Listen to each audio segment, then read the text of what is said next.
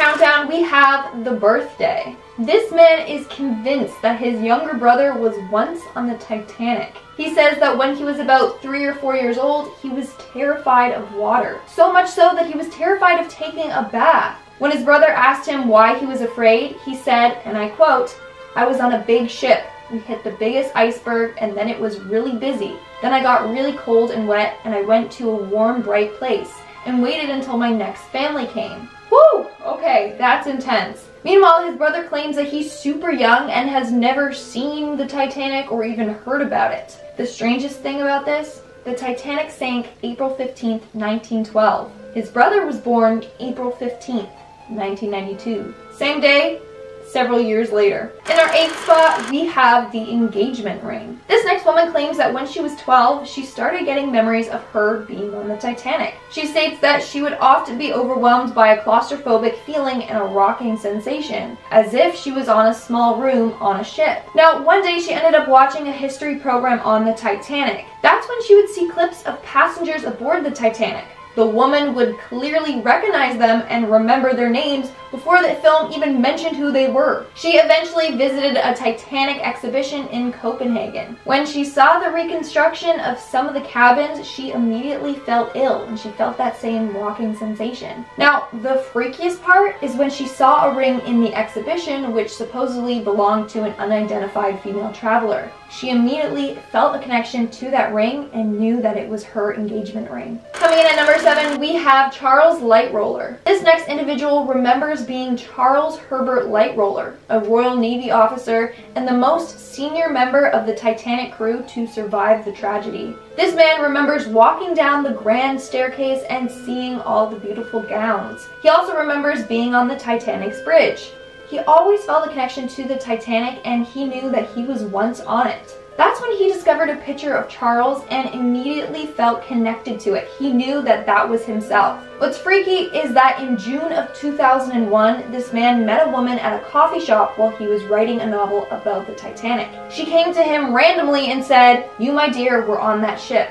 I see you as a tall, strongly built man wearing a dark jacket with brass buttons and a white cap with a black visor. She then proceeds to flip through one of his books he had, points to a photo of Charles, and says, that's you. Okay, that is so creepy how this random woman knew. He eventually went to the Titanic exhibition in Seattle to try and bring back more memories. That's when he was flooded with them. He remembers seeing himself in a uniform and he could even hear the music playing while he saw couples dancing in the ballroom. In our sixth spot, we have Alfred Peacock. Two years after the Titanic sank, a little boy was born. While he was growing up, he had a bunch of visions surrounding the Titanic, which led him to believe that he was on the Titanic when it sank. He claims that he remembers being a two-year-old boy on the ship with his family his mom and his little sister. When he got older, he began to remember more details, like staying in the third class cabin. He also recalled that his name started with the letter A and ended in ED, which led him to believe that his name might have been Alfred. Upon looking at the Titanic passenger list, he discovered that there was a boy named Alfred Peacock. Alfred was on the Titanic in the third class cabin with his mom and sister just like the boy claimed. We are now at our fifth and halfway mark with the devoted wife. When a woman named Amanda was just 19 years old, she began to have memories of her being on the Titanic. She remembers that she was a first-class passenger named Julia, traveling with her family. While aboard the Titanic, she met a fellow whose name is either Marcus or Mark who eventually turned out to be her husband. They both met aboard the Titanic and fell in love fast. When the Titanic was sinking, they both managed to survive by getting a lifeboat. They stayed in contact afterwards and eventually got married. In fact, she was at an antique store one day and saw an antique silver mirror and brush set, which triggered the memory of her using one while getting ready for her wedding. What I find fascinating though is that Amanda claims she hasn't had a boyfriend because she feels like no one treats her as well as her past husband did. That is so cute. Like their love is just eternal. Like she still loves him many lives later. In our fourth spot, we have the dreams. Back when this individual was in third grade, she would have dreams of a bright room filled with fancy dressed people dancing. She remembers walking through the ballroom and seeing a grand staircase. Then she would wake up from the dream. She never thought anything of it until at school she watched a documentary on the Titanic. This documentary showed the ballroom. Exactly how she dreamt of it. Before this documentary, she never heard of the Titanic, let alone seen pictures of it. 20 years later, she finds that every time she has a cold shower, she starts to gasp as if she can't breathe. One time while in the shower, she closed her eyes and had a vision of her drowning in the cold waters. To this day, she occasionally has dreams or flashbacks to the time that she was aboard the ship. Coming in at number three, we have Bess Waldo Daniels. This next individual remembers being a woman named Bess Waldo Daniels aboard the Titanic. She discovered that she was Bess when she saw a picture of Bess's husband and children and realized that they looked exactly like the individuals from her own visions. She remembers the early life as Bess, the memories from her childhood all the way up to the day that she passed away on the Titanic. She had a husband named Hudson and three children, Helen, Hudsey, and Lorraine. She remembers being in their stateroom when her husband came in and told them to follow him out to the boat deck. She remembers him saying that it's not safe to take the elevator, so they had to take the stairs. She then gets in a boat with her baby while sounds of panic fill the air. In the boat, she was with complete strangers. She handed her baby to one man with curly blonde hair while she stood up to look for her husband. Then, all she remembers is that the boat rocked and she fell into the icy cold waters. In her second spot, we have Bridget O'Sullivan. A woman named Jackie is adamant that she was once a woman named Bridget O'Sullivan, who was a passenger on the Titanic. She remembers being a third class passenger.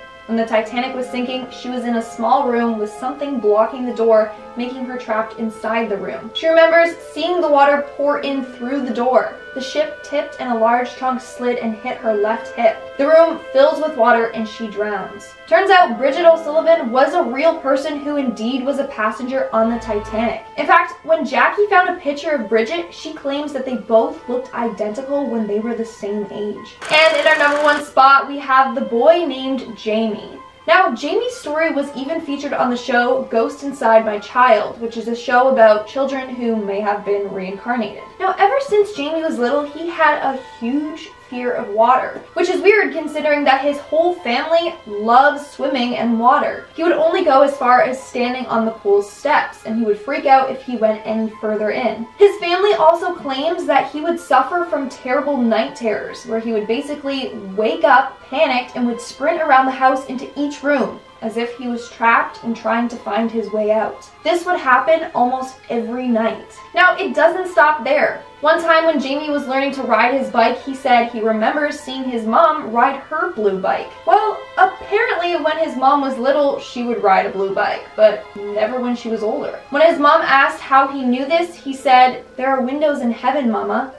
There were also other unusual things about Jamie. Around the age of four, he would say port and starboard instead of left and right. And he would also say some words with a slight English accent. One day, Jamie ended up watching the ending of the Titanic thanks to his babysitter. And this heightened everything. From there, he would constantly draw images of the ship, some containing great detail showing the different levels and all the rooms. He even knew facts about the ship that a five-year-old possibly couldn't have known. Like how one time he drew a ship with four smokestacks, but he only drew smoke coming out of three. His mom asked him why one wasn't working, and he said, that's a dummy stack. It's just for show. And this is true. Apparently they only used three of the smokestacks but thought four looked better, so one was just fake. Now, Jamie also would be overcome by guilt constantly. He repeatedly would tell his mom that the tragedy shouldn't have happened, and he said, and I quote, mistakes were made and corners were cut. He said that the men in the boiler rooms shouldn't have been trapped. He also said that the boat should have been made out of iron instead of steel. This, among all the other facts, led his mom to believe that his son helped build the ship or was a worker aboard the ship. Coming in at number 9 is the wealth gap. There were three classes of passengers aboard the ship as we already know. First class to third, the richest are in first class and vice versa. The Titanic did a brilliant job of at least making the third class passengers feel more privileged by giving them closed off private rooms as opposed to a dormitory type situation, but the same can't be said about rescue crews who were doing damage control on the ship. In order to prioritize the remains of the first and second class passengers, they literally just started throwing the bodies of third class passengers into the ocean. The evidence was written in excruciating detail in a series of telegrams between the White Star Line and the recovery ship tasked with the issue. So while most of the second and first class passengers' bodies were returned to their families and were given proper burials, most of the third class families were kept in the dark about their loved ones. Plot twist, the wage gap didn't get any better.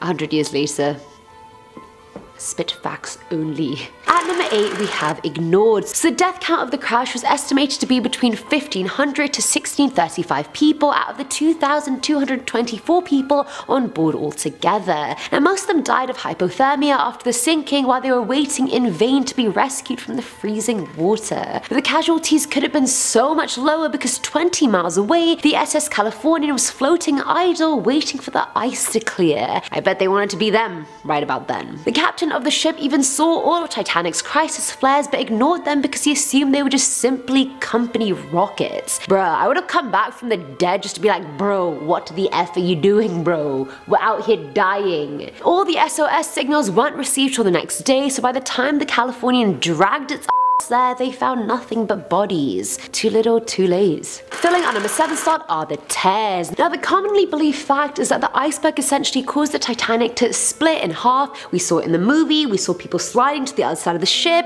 it was all happening, and we saw it. Now before actually discovering the wreckage of the ship, experts believe there was only one 300 foot tear in the middle of the ship. Plot twist, it wasn't. But after examining the wreckage, it was a whole other ballgame. There were actually six separate tears going through the ship, all totaling 15 feet. But I mean, I had no idea that was a big enough hole to sink a ship that was almost 900 feet long. Almost 882 Nearly there. Now at number 6 is the trusted captain. The captain of the Titanic was Edward Smith and he obviously caught a lot of slack for being the captain of the ship that endured the worst maritime tragedy ever, but in reality he wasn't that bad. Smith was one of the most seasoned sea captains out there, so much so he even had fans and a low-key cult following. Some passengers wouldn't even go on Atlantic voyages unless Smith was the captain of the vessel. So for a captain with that kind of reputation to then go down in history for his folly on the night of the crash is just crazy to me, like mind blown. Coming in at number 5 is the full moon. Now when it comes down to blame, we can blame the lookouts for not doing their job properly, we can blame lack of visibility, but scientists believe the real blame for the tragedy is the moon. Wind causes waves for the most part, but it's the gravitational pull of the sun and moon on Earth that causes proper tidal waves. So based on that, researchers have concluded that the full moon on the 4th of January 1912 could have caused the abnormally strong tides that moved the big iceberg southward right in time to hit the Titanic on her maiden voyage. That was the closest lunar approach the Earth had experienced since the year 796, so I feel like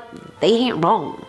They ain't wrong. At number 4 is a premonition. So 14 years prior to Titanic's maiden voyage, the author Morgan Robertson wrote a novella called Futility and its subject matter was a sinking ship. That ship was called the Titan and the whole story had eerily similar details to the Titanic. In Futility, Titan is the largest ship of its time and so was the Titanic. In reality, they were both roughly the same size, the Titanic being 25 meters longer, and both were described as unsinkable and both hit an iceberg mid-April. Both ships even carried the bare legal minimum number of lifeboats aboard despite having a ton of passengers. I mean, even the names of both ships are two letters off. Like, are we just, are we just gonna ignore that?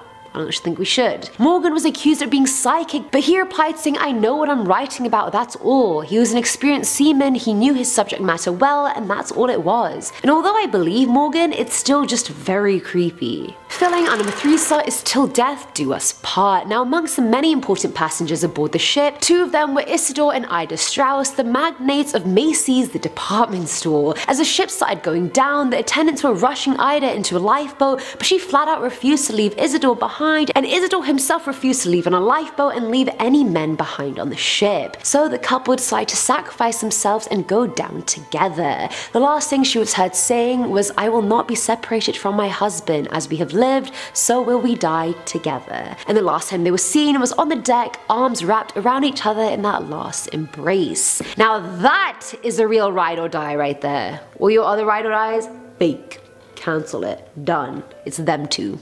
Name a better duo. I'll wait. Now at number two is the fatal turn. So I'm not going to get into the nitty gritty of what happened and who was contacted when the iceberg was spotted because I feel like we've talked about that part of it to death. Now let me set the scene. When the chief officer on the bridge received that iceberg warning, the first thing he did was tell the helmsman to turn the wheel and that was the biggest mistake he could have made. Researchers who have studied the ship's trajectory have concluded that the collision could have been completely avoided had the order to turn not been made. The Titanic was actually equipped with collision bulkhead bulkheads in the bow, so had the ship hit the iceberg head on, it would have most likely survived. The damages that would have incurred from the head on impact would have either slowed down the sinking considerably, giving people more time to board lifeboats, or it would have saved the ship entirely. That guy was probably like, I made a grave mistake and that you have. And finally, at number one is The Show Must Go On. This was just so heartbreaking to me, but I felt like I just had to share it with you guys. I'm sorry if it's a downer. So Dorothy Gibson, a well-known actress of the time, was actually aboard the Titanic and experienced a terrible tragedy for herself. She thankfully survived the incident, but her producers were hounding her to star in a film about the sinking of the Titanic weeks after the crash happened. Like, can we take a moment? Can we take a moment? Dorothy refused to star in Saved from the Titanic countless times, she kept being pressurized into it because producers were convinced that the film would do amazing. The whole thing was shot in a week with Dorothy having multiple breakdowns during filming and having fits of hysterical crying. When it was finally released less than a month after the real event, it did horribly, it bombed.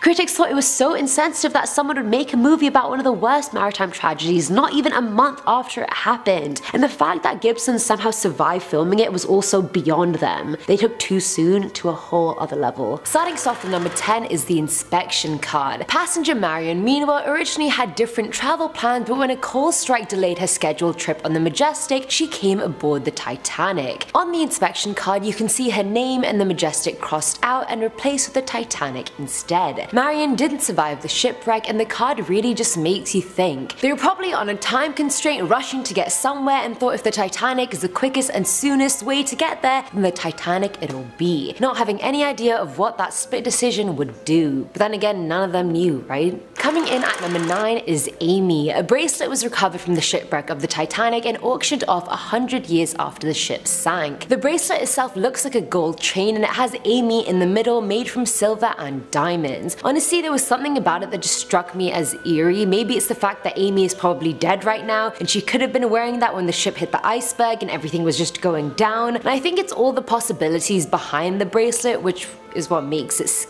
Was she sliding to the other side of the ship and the bracelet got caught on something and came off? Was it part of her luggage that went down with the ship? We'll never know. Maybe it didn't even belong to an Amy, maybe a man had gotten it for his wife or girlfriend and was gonna give it to her when the ship docked. We'll just never know. At number 8 we have the plan. This was the blueprint of the Titanic drawn by the Naval Architects Department at White Star Line, which was the company that owned the Titanic. Sold for 308,000 euros at an auction, the plan is actually one of the most important pieces of memorabilia we have because it was heavily used for investigation after the disaster to see if the ship itself had any role to play in the crash. Whether any faulty areas, any super vulnerable spots that perhaps they missed in planning, etc. Witnesses and survivors of the crash were shown the plan so they could point out where exactly the ship hit the iceberg and those points are still marked onto the plan. The drawing itself is an actual marvel, it's a whopping 9.2 meters long which surprised me initially but given how big the Starliner was herself it just doesn't surprise me at all. Filling our number 7 slot is the trunk. There are many stories explaining why Howard Irwin never boarded the Titanic when he was meant to. One story was that because he was a heavy gambler he was beaten up and kidnapped and forced to work on a ship going to the Middle East. That's some Jason Bourne ting right there. He was supposed to go to New York with his friend Henry Sutor and so when Henry got on the ship on April 10th, he brought Howard's trunk with him expecting to meet him later on. And of course he never did. They recovered Howard's trunk from the shipwreck and he's obviously still alive, hopefully back home and not still working on a ship somewhere, but his friend Henry didn't survive. Now at number 6 are the keys. They actually did a really good job of conserving these keys. I thought they'd be rusty and old and water damage, but they look like they're in tip-top shape. This specific set was used by Titanic crewman Samuel Hemming,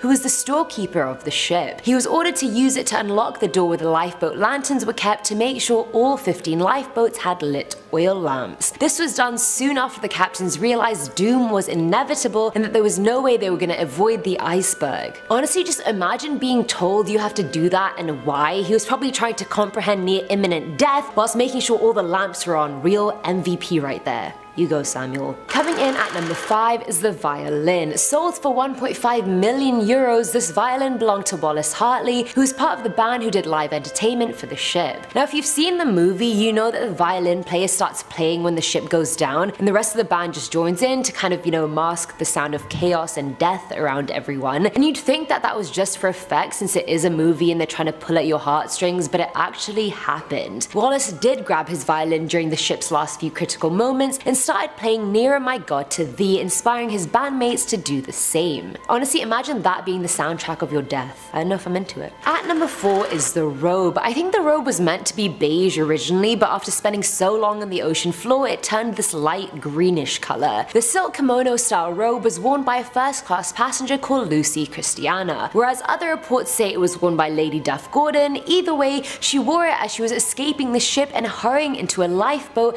and then later the RMS Carpathia. Honestly, that is a fancy ass getaway outfit if I ever saw one, but I'm not even surprised. I feel like people probably just ran for safety regardless of if they were wearing a three-piece suit or were completely naked. I would have taken it off, you know, to be able to run faster, but they were also getting into lifeboats, into freezing water, so the cover-up makes complete sense. Filling our number 3 slot is the pocket watch. Till 2008, this was actually the most expensive Titanic artifact sold in an auction. It was sold for 130,000 euros, which is around 146,000 USD. It belonged to a first class steward on the ship called Edmund Stone, who also owned the master keys to the whole first class cabin, so he was pretty up there. Eerily enough, the watch stopped ticking at exactly 2.16am, which would have been around the time Edmund landed in the ice cold water of the ocean. Now this is a proper relic frozen in time. I feel when I read that sentence while I was researching this video, it almost made me flash back to seeing this man's arm go into the Atlantic Ocean even though I wasn't even there. It honestly gives me chills and I don't know if it's because the fact it stopped when he died is freaky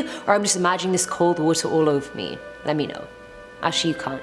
Scratch that. Now at number 2 is the last lifeboat. Collapsible A was the last lifeboat to leave the Titanic. Not everyone survived, but most of them were saved by Oceanic. A month after the sinking, it was recovered and workers were doing their best to patch it back up. But what they found inside the lifeboat made them speechless. Inside Collapsible A, they found the decomposing bodies of three passengers. One was wearing a dinner jacket, later identified as first class passenger Thompson Beattie, and the other two bodies were firemen that had just been stuffed under the lifeboat seats. One of their arms even came off as the boarding officer was trying to move them. A wedding ring was found too, but I guess Oceanic left the dead bodies behind when they were saving the rest. The ring belonged to Elin Lindell, who got to the lifeboat but later drowned. Her husband held the ring on collapsible A till he too died, and his body has never been recovered. And finally, at number one is the letter. I think this is one of the most profound artifacts that was recovered from the Titanic, but also one of the most spine-chilling. April 14 14th, 1912, the Titanic hit the iceberg. Two and a half hours later, the ship sank with 1,500 people aboard. During that two and a half hours, first class passenger Dr. Washington Dodge decided to write a letter. Even his name sounds bougie, I'm not surprised he was first class. In the letter, he vividly describes the ship's final hours, the sinking, the chaos, the loss. It's one of the earliest, most immediate accounts of the disaster ever found. His handwriting is all over the place, which I'm sure you can understand given his state of mind. But he did in fact survive the shipwreck, so I guess it wasn't all bad after all. I mean, what am I saying? It, it, it, was all bad. It was all bad. We are now at our fifth and halfway mark with the SOS. It said that the Titanic frantically radioed messages as the crew realized she was doomed. But since the incident was late at night, many ships nearby had their radios turned off. However, some ships did respond, and even Titanic's sister ship, Olympic, sent word that they were coming to help. Legend has it that a passing ship, the Samson, saw Titanic's flares but carried on without a second glance. But in reality, the Samson was nowhere near the Titanic. The one ship that could have made it in time was the Californian, but they didn't receive calls for help. The first ship to reach Titanic survivors was the RMS Carpathia, two hours after the sinking. In our fourth spot, we have the curses. Out of all the Titanic curses, you'd think that at least one of them would be true. Well, White Star Line made a point of not holding launching spectacles for their ship when it's often a common practice to, for like, good luck. On most ships' debuts, companies would make a ceremony of transferring the new ship into the water. This involved cheering, blessings, and large crowds, often smashing a bottle of champagne off the bow as a sacrifice. Thing is, White Star Line never participated in such ceremonies with any of their ships, meaning that if this legend is true, the Titanic wasn't blessed or properly bid good luck and that's why she sank.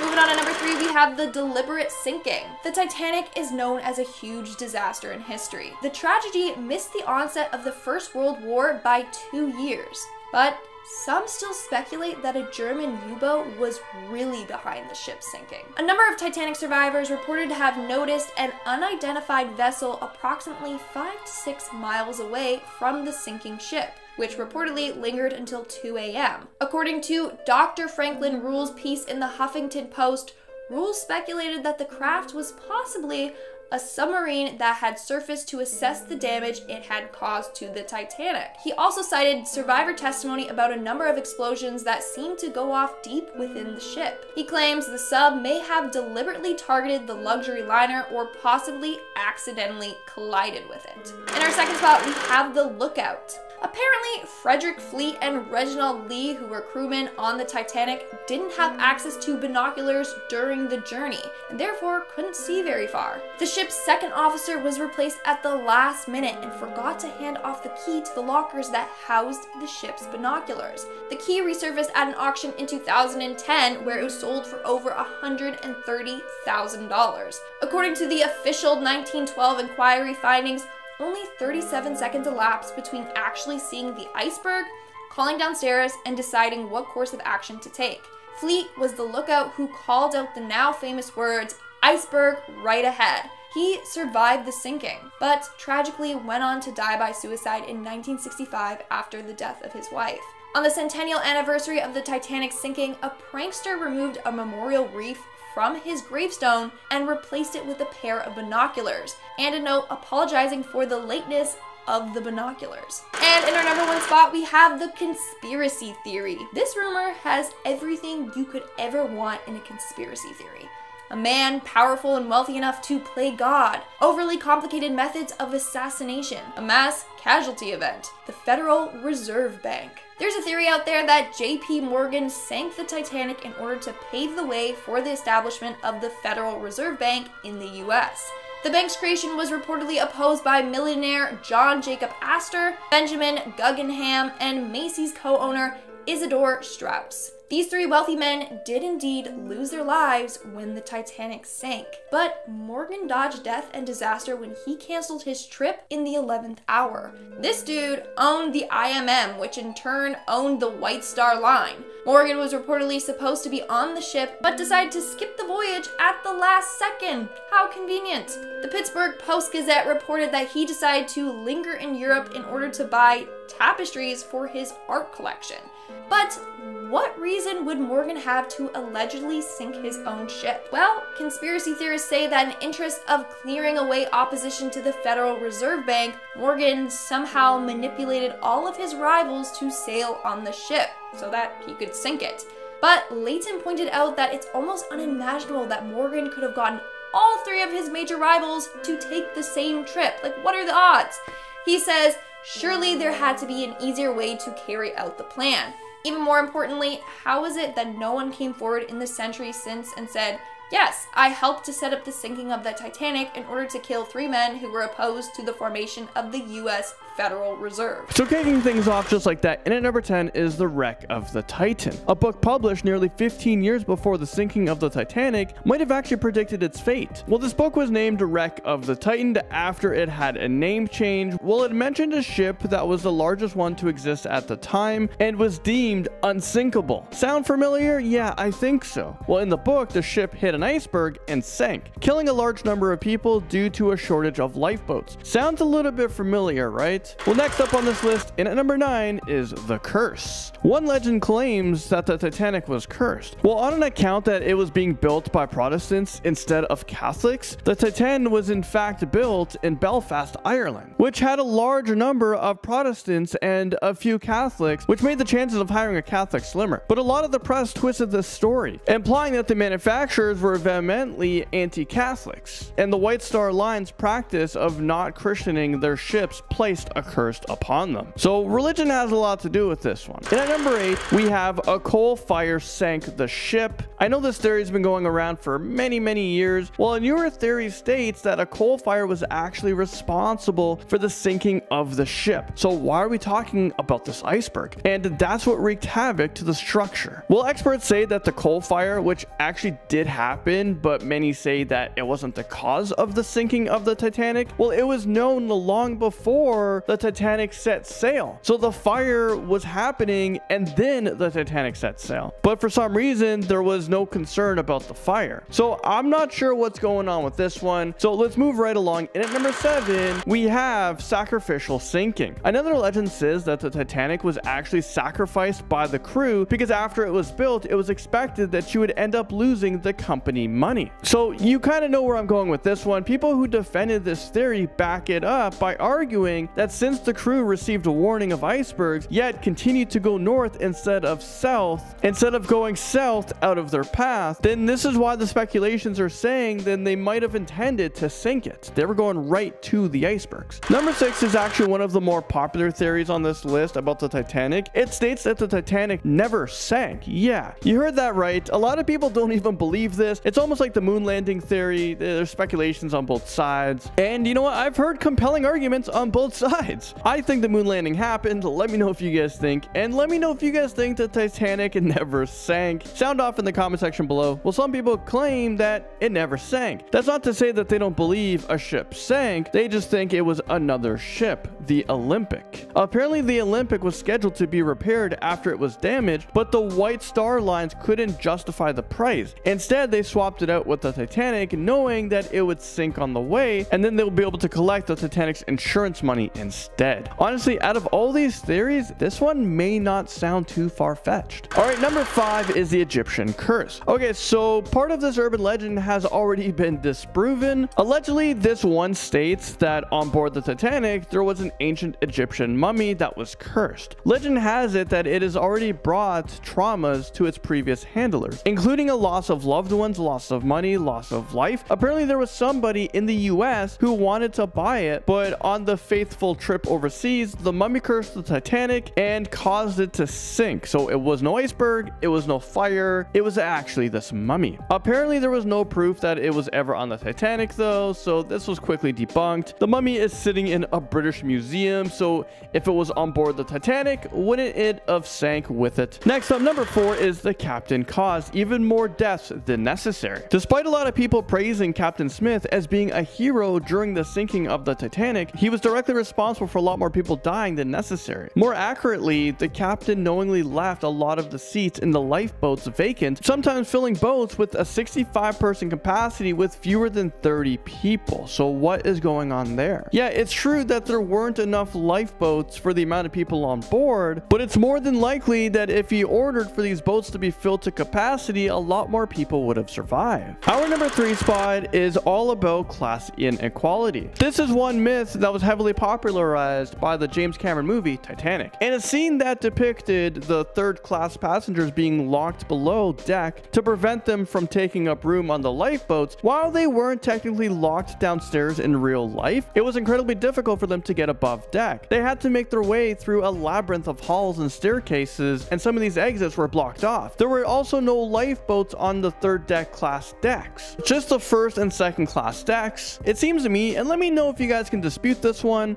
but is this ship designed for only the wealthy to survive in case of a crash? In at number two, there's a legend that claims that men dressed as women to con their way onto lifeboats. So this one is pretty self-explanatory in my opinion. We all saw the movie, they took women and kids first. We saw some men trying to jump on. Uh, if this was me, I would fight to survive, so I would try to dress as a woman to try to get on that boat. You gotta fight for survival. When the Titanic was sinking, women and children were the first to be boarded on. Well, leaving men to just wait behind and for somehow they were going to swim to shore, swim to an island, uh, be saved. Okay, let's be honest here. Let's not sugarcoat this. They were just left to die on the ship. Well, some men allegedly worked their way around this rule by dressing up as women and getting in the lifeboats in disguise. And at number one goes to time traveling tourists. The theory of time travel has existed pretty much forever, and some people think that it's a result of some big moments in history. I wish I can time travel to the early 2019 and tell people about this COVID-19 virus and a way to avoid it, and maybe having it contained in the city that it started, so we can avoid this global pandemic. Well, going back to this urban legend, this urban legend claims that a bunch of people from the future decided to use time travel to go check out the Titanic. But there was one problem. They all appeared at the same time, and okay, I know it gets a little bit crazy with this one, but because they appeared all at the same time, they added weight to the ship. I mean, all these new passengers weren't accounted for, and that's how the ship sank. This is probably the, one of the most far-fetched things that I've ever heard, and I'm just gonna debunk it now and say, no, time travel doesn't exist, so how can this be possible? Well, there you guys have it. I just want to say thank you guys so much for watching this video. That was the top 10 scary Titanic urban legends that might be true. I mean, everything on this list could be plausible. Who are we to rule anything out? Well, even though this happened over a hundred years ago, we may never know all the secrets that went along with the Titanic itself. Starting off in our number 10 spot, we have the heads up. I'm not sure why, but for actual years, I thought that on the day of the Titanic sinking, the iceberg they hit just kind of came out of nowhere and surprised them, so imagine my surprise when I found out that wasn't true even in the slightest. It turns out the entire thing could have been avoided. The crew had received six warnings about the iceberg before the collision. While the first few warnings were received by the captain, not all of them were, and it's not totally clear why. Although the crew knew about the icy conditions on the water, they didn't slow down much, which some have called a reckless decision, but apparently this was standard practice at the time, so I suppose you can't really blame them. The final warning, however, was received from a ship that had halted for the night due to an ice field a few miles away, and when the message was being relayed to the captain, he cut it off and said to shut up as he was working Cape Race. In our number 9 spot today we have the futility. This is more so something that happened prior to the fateful day of the Titanic sinking, but it's still quite unsettling and also kind of bizarre nonetheless. In 1898 a book called Futility was released by an author named Morgan Robertson. This book tells the story of a large ship named the Titan. The Titan sets out for its first sail but encounters and strikes an iceberg. This certainly sounds eerily familiar, doesn't it? Considering this book was released in 1898 and the real life event of the Titanic sinking happened in 1912, there are many people who believe that this novel predicted this fateful day. It's most likely a very strange coincidence, but man is it really weird. Even with the names being so close, let alone how the rest of the story just matches up so well. Maybe Morgan Robertson is a time traveler or some kind of prophet, but if he was to guess it would be kind of rude to just write a book about it rather than, I don't know, warn someone? In our number 8 spot today we have True Love. Two of the first class passengers who were on the ship were elderly couple Isidor and Ida Straus. When the ship started to sink and lifeboats were being boarded, attendants were ushering Ida into one of the lifeboats, but of course without her husband since women and children were being rescued first. Ida however refused to leave her husband and Isidor refused to be rescued before other men. Instead they both chose to stay on the ship and they went down together. Ida said quote, I will not be separated from my husband. As we have lived, so we will die together. Survivors who witnessed their love last saw the pair standing on the deck with their arms around each other. This love story is incredibly tragic, but also just such a testament to how much they loved each other. I'm very glad that they had one another in those very frightening moments. In our number 7 spot today we have Take My Spot.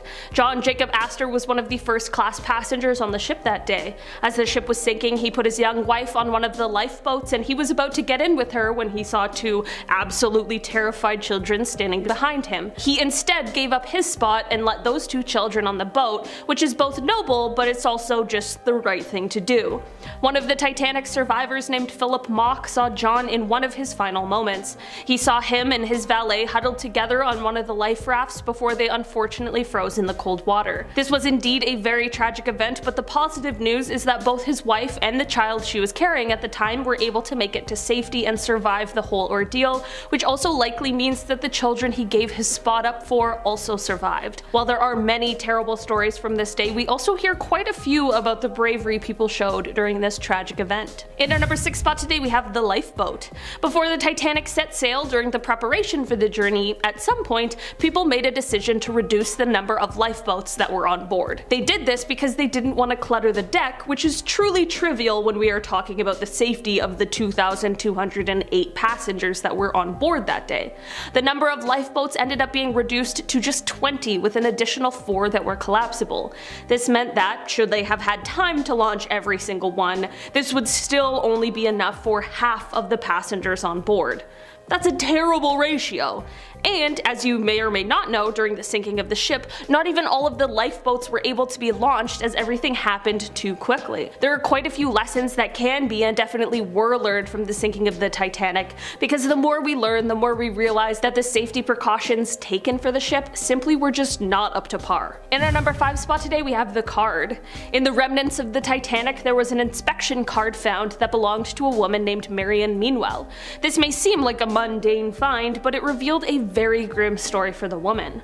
Once the card was found, it was revealed that Marion was not intended to be on the Titanic that day, but by some turn of events, she unfortunately found herself as one of the passengers.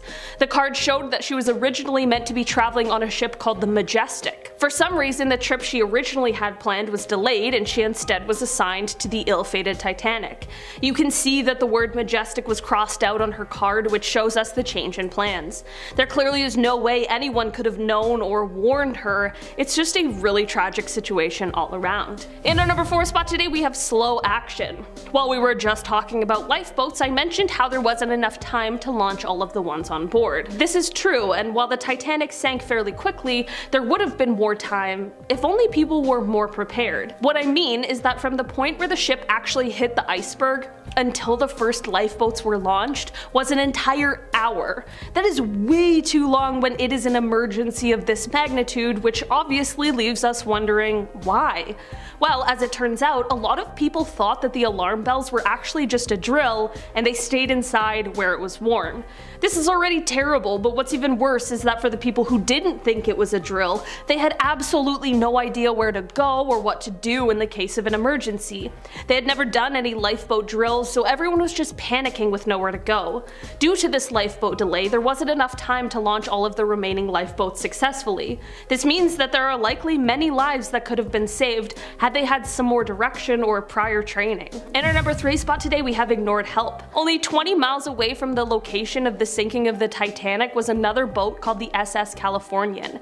This boat had stopped in order to avoid the ice, which was clearly a fantastic idea. What is pretty insane, however, is that the captain of this boat actually saw the emergency flares being set off on the Titanic, but he ignored them because he figured they were company rockets. And to make this matter even worse, the SOS signals that the Titanic was sending out weren't even received until the next day because the radio operator on the SS Californian had gone to sleep. By the time they heard these calls and arrived the next day, everyone had unfortunately already passed away and they weren't able to save anyone. Who knows what could have happened had they taken those emergency signals seriously? It's obviously not their fault, but it definitely makes you think. In our number 2 spot today we have the band. We know how passionate musicians can be and we know how healing music is for a lot of people. While I am absolutely sure that there was nothing that could be done to completely erase people's worries about what was going on, the ship's orchestra did what they could, which was to play music. The eight orchestra members continued to play as the ship sank in order to try and keep spirits up, I'm sure for other passengers as well as themselves. At first it was widely believed that they did this because they were ordered to, and for the record, if this were the case, that would still have been insanely brave of them, but as it turns out, this is far from true. The band members were in fact not ship employees, which means that they had the same rights as any passenger to leave, but they chose not to. They all unfortunately passed away in the sinking of the ship and they played until they couldn't anymore, which I think is horribly sad but also very beautiful and heroic of them.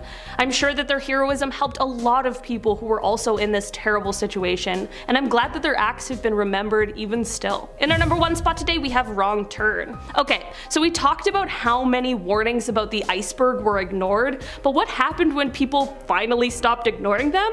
Well, once the iceberg was actually spotted, the chief officer received this warning and he ordered the helmsman to turn the wheel. Apparently this was actually a huge mistake, but it's unlikely they would have known that at the time. Researchers now believe that if they hadn't turned the wheel, the ship might not have sunk. The ship itself had bulkheads in the bow, so it is very likely that had the ship collided head on with the iceberg, it actually would have been fine. They said that a head on collision would have either stopped the ship from sinking at all, or it would have at least sunk a lot more slowly, which would have given more time for people to be rescued.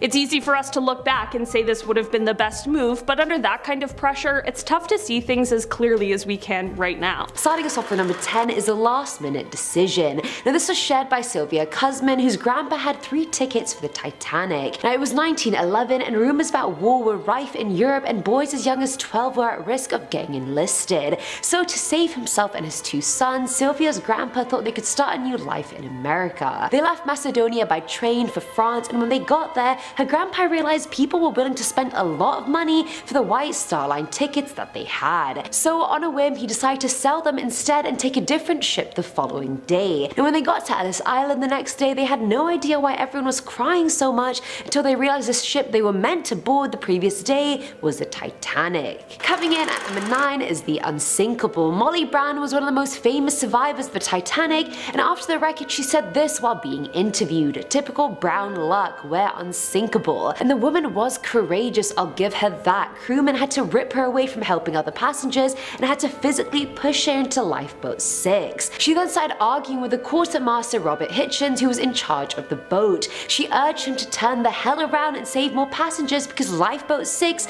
was the infamous one that left the ship without even being half full with passengers. What a waste people, but we'll get into that later. At number 8 we have John Jacob Astor. Now this American businessman was the richest passenger aboard the Titanic and rumored to be one of the richest people in the world at that time. His net worth was close to $87 million when he died, which is about $2.3 billion today. Now, despite being a first class passenger and presumed to be snobby, he genuinely wasn't. He safely got his pregnant wife Madeleine on a lifeboat and asked if he could get on with her to protect her, but was refused. All the women and children had to board before the men could, so he got told the number of her lifeboat and waited. As the time finally came and he was about to board the lifeboat, he saw two terrified children on deck and gave up his place on the lifeboat for the two kids. He sacrificed himself his child's future father, for two helpless children and I think that's pretty damn honourable. Filling 7 slot is the bacon. Now most passengers who died died mostly from hypothermia or they drowned, there is a no in between.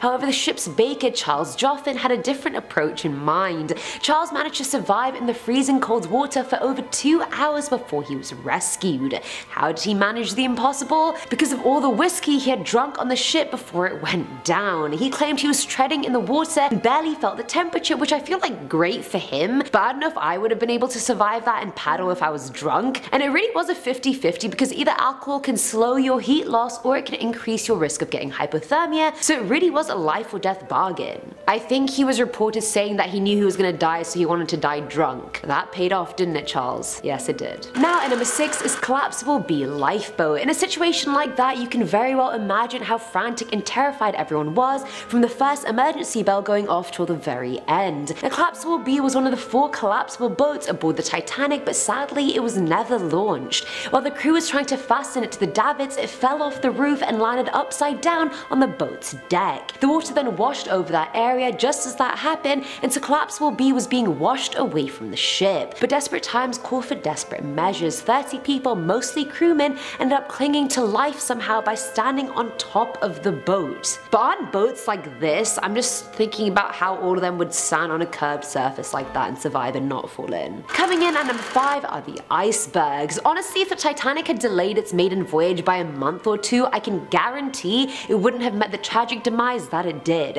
April 1912 saw 300 plus icebergs in the North Atlantic shipping lanes, which was the highest number seen within this route in over half a century. The high influx of icebergs was due to the fact that winter that year was warmer than usual, hence more ice was getting dislodged and thus more icebergs were travelling towards that route. Talk about wrong place, wrong time. At number 4 are the engineers. Thanks to the dedicated Scottish and British engineers aboard the ship, a lot of people were saved that actually wouldn't have been. The men stayed behind and worked effortlessly until the ship actually went under. None of the lights on the ship went out until it was fully underwater. The men spent the whole time keeping the pumps running and the electricity going which helped the crew get the passengers on the lifeboats. Lights aside, they also kept the radio running which sent out distress signals up until a few minutes before the ship was submerged. One of the last signals heard by the Carpathia was engine room full up to boilers aka full of water. Out of the 25 engineers, not a single one survived. If anyone was a real MVP on this boat, it was definitely the 25 men right there. Filling at number 3 slot is watertight. Now designs of the Titanic would make you think the fleet was airtight. It had a double bottom, as well as 15 watertight bulkhead compartments that were equipped with further watertight doors. That's a lot of me saying watertight, isn't it? So with all those extra precautions in place, what the hell went wrong besides the big tears in the ship's side? Well turns out the walls separating the bulkheads allowed water to get in from one compartment to another another, hence the foolproof design ended up having a pretty huge fatal flaw. Now at number 2 are furry friends. People dying is sad of course, but pets dying is even sadder for some reason. First class passengers aboard the Titanic were allowed to bring their dogs while on board, and so there were about 12 confirmed dogs on the ship. Of those 12, only 3 got a happy ending as they were smuggled onto lifeboats and taken to New York. The rest sadly drowned with the rest of the passengers. And finally at number 1 is the survival rate. Now this one triggered me. Iceberg or no iceberg, if anything happened to the Titanic, there was no way everyone was going to survive.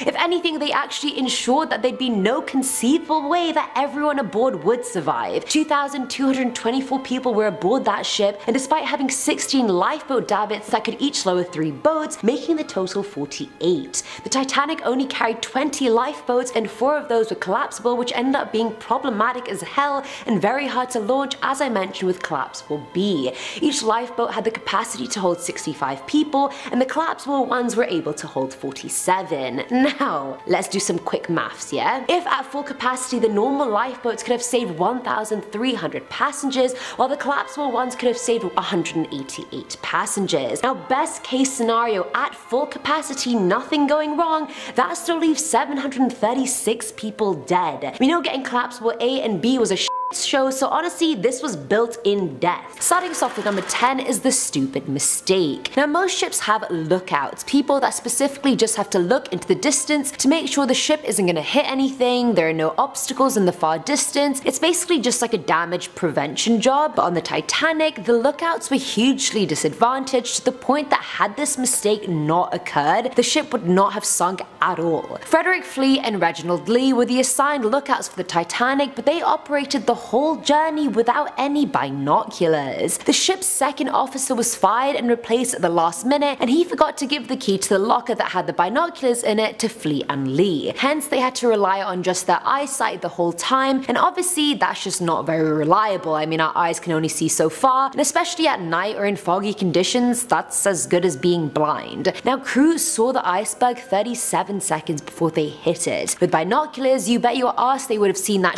a lot sooner and been able to change course easily. The key was finally found in 2010 and auctioned off for a whopping $130,000. Coming in at number 9 are the bad omens. Now I don't want to say the Titanic was doomed before it even set sail, but there were some red flags, there was some foreshadowing bad omens, that's just, that's all I'm gonna say. Now during the construction of the ship, 8 workers died, 3 of which are still unknown. We don't know their names since many of the workers weren't registered, they were just kind of there to make some extra money and the heads in charge were fine with that. Not only that, but 246 injuries were reported during her construction, so all that already happened before the ship was even done, let alone set sail. Now the day it set sail, April 10th, 1912. As she was leaving the Southampton dock, she nearly crashed into the New York that was moored nearby. As the Titanic was leaving, the ropes holding the New York snapped and so it was drifting into the Titanic's path, so crewmen on the steamliner quickly used water from the propeller to push the the other ship away. So there have been deaths, there have been injuries, and it nearly crashed minutes into leaving the dock. I don't want to say doom was expected, but I'll just I'll just leave it at that. Say no more. You guys can make your own conclusions. I'm just giving you the facts, straight facts only. At number 8 we have the safety drills. Now this was actually part of one of the survivors' testimonies, but while aboard the ship they shared that every Sunday without fail they would have a lifeboat drill. Like without fail, rain or shine, the drill would definitely happen. And April 14th was the last Sunday before the crash, and although technically it's written down as sinking on the 14th, it actually sank at 2am on the 15th if we're being specific, you know, if we're being nitpicky. Either way, that day, the very day of the tragedy to come, the lifeboat drill just never happened. No one knows why, maybe the captain thought the passengers had gotten the gist of it by now, I don't really know. But for some reason, the drill just never happened. And it sure as it should have since it would have helped a bunch of people get onto the lifeboats quicker and faster and safer rather than the stampede that it actually was. But also that's just really suspicious the fact it didn't happen, like why? Why on that day specifically did it not happen? Illuminati confirmed. Filling our number 7 slot is fake news. Now when the Titanic sank, the news travelled pretty quickly since the voyage was so hyped up everywhere. Everyone knew of the Titanic, they knew what was going on, and so when she sank, journalists were eager to get on the story, but it was the wrong story. A various plethora of newspapers reported that the Titanic had indeed hit an iceberg, but not that it had sank. Most of them reported all the passengers getting into lifeboats and the steamer being towed to Halifax. The New York Times was actually the only newspaper who reported the ship to have sunk and was hated on by all the other newspapers for the inaccuracy. Even the Wall Street Journal reported that the damage was bad, but the important point is that she did not sink. Her watertight bulkheads were really watertight. I mean, were they though? It was only a full two days later that newspapers learned the truth and then they were all looking pretty freaking dumb for chiding the New York Times. Now once the ship's signal ceased after its distress calls, people started to realize that it did in fact sink. So whether it's 2019 or 1912, 1000 years seems to make no difference since there's clearly fake news circulating all the bloody time. It is what it is, guys. Now, number six are the engineers. Thanks to the dedicated Scottish and British engineers aboard the ship, a lot of people were saved. The men stayed behind it and worked effortlessly until the ship actually went under. The lights on the ship didn't even go out until it was fully underwater. The men spent the whole time keeping the pumps running and the electricity going, which helped the crew aboard get the passengers on the lifeboats. They also kept the radio running, which sent out distress signals up until a few minutes before the ship was completely submerged submerged. One of the last signals heard by the Carpathia was engine room full up to boilers full of water. Out of the 25 engineers, not a single one survived. They were the real MVPs of this whole situation. I think we can agree. Coming in at number 5 is the bathroom situation. Now aboard the Titanic there were three classes. First class that had various places to eat, they had their own gym, Turkish baths, a reading and writing room and many more amenities. Then came second class and third class, and third class passengers were referred to as steerage passengers since they usually lodged below deck where the steering apparatus was located. Now four people shared a room in third class and they were provided food in a dining room which was pretty good considering most other ships would tell third class passengers to bring their own food. Each room had one basin between four people and there were only two bathtubs, as in for the whole class two bathtubs. There were around 700 to 1000 third class passengers all sharing two bathtubs. Like can you even imagine? Is that not against human rights? I feel like it is. And I doubt anyone would have been cleaning the third class bathtub so can you just imagine A, how dirty they would have been and B, how long the wait would have been for your turn to use it? Like can we just think about that for a minute? This is a big deal. Like when I lived in dorms there was one bathtub between one floor of my house which was like 20 people but there were showers as well and no one really used the tubs anyway other than to throw up in but even 20 people, I was like, yeah, I'm never using that. But 700 to 1000? Like, nah, nah, B? Nah. At number 4 is Now You See It, Now You Don't. Despite the Titanic being the biggest ship in the world, it somehow still took people 73 years to find its wreckage, which I don't even understand. Either way, sitting at 3,800 meters below the surface for more than a thousand years now, according to scientists, the whole wreckage could completely disappear by 2030. Since the wreckage is so deep, the ship stayed well preserved till 1985, but deteriorated a lot after that. While the deterioration has slowed considerably, a new proteobacteria was found on the rusted parts of the ship, and tests confirmed that the bacteria could eat away the ship and erode it completely by 2030. Can you imagine? Like 50 years from now, there's gonna be no Titanic. It's gonna be one of those like small tidbit history facts that people of the future may or may not know. Not like how it is for us, like this huge event that we all know, like that's making me sad almost, like people are just gonna forget about it. Well, hmm contemplation, looking into the distance and dramatic eyes.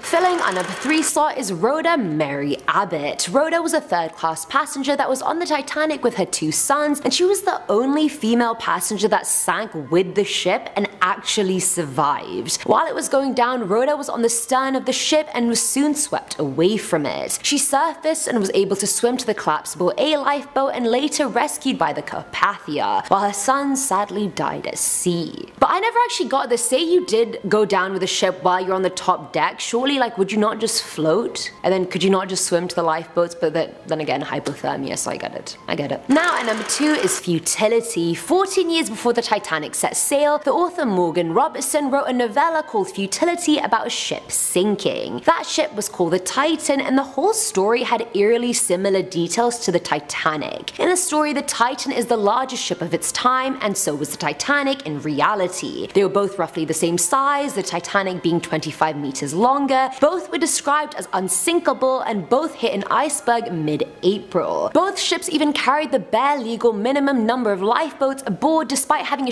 ton of passengers, so there was just a lot of similarities that made you think like what? What is happening? I mean, even the names of both ships are just two letters off for God's sake. Like, Morgan was even accused of being psychic, but he replied saying, I know what I'm writing about, that's literally all. He was an experienced seaman and he knew his subject matter and that's all it was. And although I believe Morgan, it's still really hella creepy. Kicking off our list at number 10, first class passengers. While traveling in first class, it might feel more comfortable at first, but when it came to the sinking of the Titanic, first class passengers had a better chance at survival. You would think think obviously, but Here's why. Just over 200 first class passengers survived out of the 324 souls traveling in first class during that fateful voyage. That's a lot of people. I mean, a lot of people passed away, but in hindsight, a lot of people made it. If you've seen the James Cameron film, you know women and children were first to board these lifeboats. And then afterwards, it was first class men. See, by that point, there were few lifeboats left, which I'll get into of course later on. But second class and third class, their chances at survival here right off the bat were not great, simply because they were divided by class. Being stored further and lower from these lifeboats, the odds weren't in their favor. There were more than 700 third class passengers, and that number exceeded the other two classes combined. It's horrible. Those rooms were crammed. Four people would have to share one tiny room and the beds were smaller than twin beds. So when it comes to evacuating quickly, sadly these passengers had the hardest time getting out, which we don't often think of when we think of, you know, the Titanic and the sinking of it. Number 9. The band. We know how passionate musicians can be and we know that music can heal a lot of people, of course.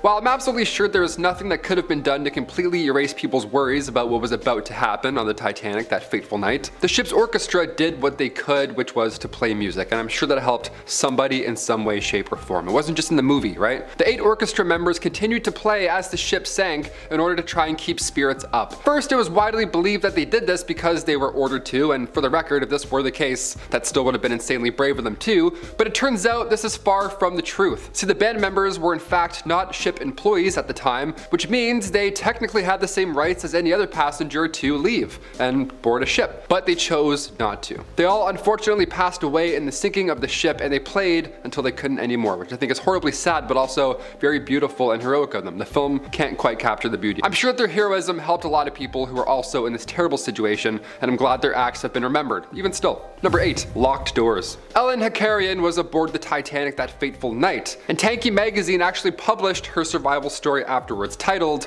Going Down with the Titanic in Third Class. Yeah, I mentioned the first class differences between third class, so this story here is already a feat in itself. Ellen and her husband, Pekko, decided to leave Finland and start a new life in America. The night of April 14th, after the couple had returned to their cabin and got settled in, they heard a loud scraping sound, and the engines then started to act up. Pekko ran out to see what was going on, the hallway was tilted by the time Aylin poked her head out moments later, once she heard a ruckus in the hallway. Then there was a knock at the door. One of her friends from Finland came in and they said the ship was sinking, but Pekka was nowhere to be seen and her friend asked, how did he get out of the passageway? All the doors are locked. I was confused. I didn't know what to do next. After a few moments, I grabbed my purse and life jacket and ran out to the passageway. The door was locked. All the doors were locked. A steward finally came along to guide the crew to third deck, where they were then taken to the Carpathia, and they didn't arrive to a safe ship until the sun was up the following day. So after losing her husband and all of her belongings, Aylin only received $125. That's all the ship could give them. They're like, we're sorry you lost everything, here's the best we can do.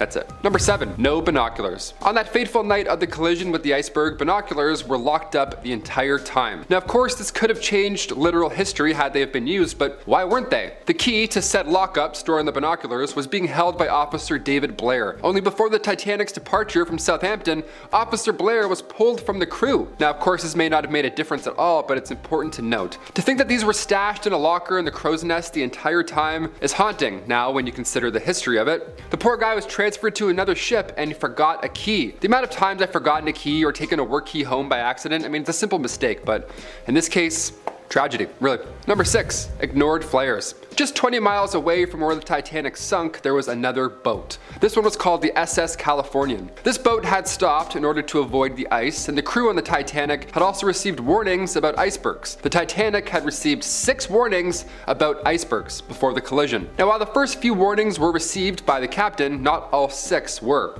Why so? The captain of this other boat, he slowed down and actually saw the emergency flares being set off on the Titanic ahead, but he ignored them because he thought that they were company rockets. The SOS signals that the Titanic was sending out weren't received until the next day because the radio operator on that SS Californian had gone to sleep. Yep, he took a little power nap after ignoring all the flares. By the time they had heard these calls and arrived the next day, it was obviously too late, sadly. Number 5. Less lifeboats. Before the Titanic even set sail during the preparation for the journey, at some point, people made a decision to reduce the number of lifeboats that were on board. Why they did this? Beats me. I don't know. They did this because they didn't want to clutter the deck, which is truly trivial when we're talking about the safety of, I don't know, 2,208 passengers that were on board that day. The number of lifeboats ended up being reduced to just 20, with an additional four that were, you know, collapsible. So 24-ish lifeboats, 2,208 passengers. Doesn't add up. It's not, uh, it's a terrible ratio. Which means they should have had time to launch every single one, but this would still be only enough for half the passengers on board. It was cursed from the get-go. And as you may or may not know, during the sinking of the ship, not even all the lifeboats were able to be launched as everything happened too quickly and it was chaos. There are quite a few lessons that can be definitely learned from the sinking of the Titanic because the more we learn, the more we realize that safety precautions taken for these ships simply were just not up to par. It wasn't really about the iceberg. I mean, that did it, but there were other things that could have helped. Number four, the card. In the remnants of the Titanic, there was an inspection card found that belonged to a woman named Marianne Meanwell. This must seem like any ordinary find after a wreck, but it revealed a grim story for the woman. Once the card was found, it was then revealed that Marianne was not intended to be on the Titanic at all, but by some turn of events, she unfortunately found herself as one of the passengers. The card shows us that she was originally meant to be traveling on a ship called the Majestic,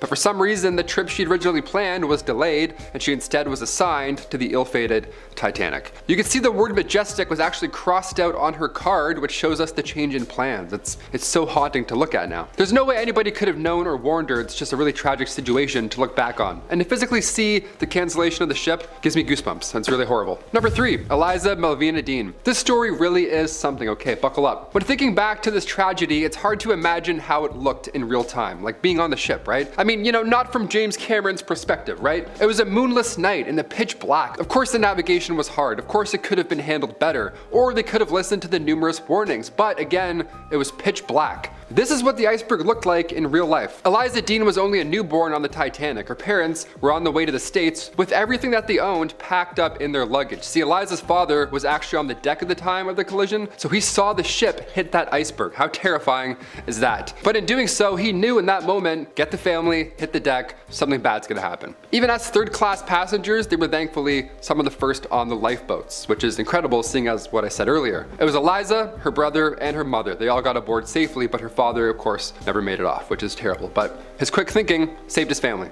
Number 2. John Jacob Astor. As the ship was sinking, the first class passenger, John Jacob Astor, he put his young wife on one of the lifeboats and he was about to get in with her when he immediately saw two terrified children standing behind him. And it happened. He instead gave up his spot and let those other two children on the boat, which is just noble, it's brave, it's heroic. I, it's something that you ask yourself, could I do that? If it actually were to happen, would I have the willpower to do that? I hope so. This is absolute bravery. One of the Titanic survivors named Philip Mock saw John in one of his final moments later on after this brave moment. He saw him and his valet huddled together on one of the life rafts before they unfortunately froze in the cold water. It's tragic. This was indeed a very tragic event, but the positive news here is that both his wife and the child that she was carrying at the time were able to make it to safety, and they survived the entire ordeal. While there are many terrible stories from this day, we also don't hear enough about the bravery that people showed during this tragic event. And finally, number one, Molly Brown. In total, there were 706 people who survived the sinking of the Titanic. Molly Brown has been referred to as the unsinkable Molly Brown. And when you look into her story, it really checks out. Margaret Brown not only survived the Titanic, which is just an incredible feat in itself, and it's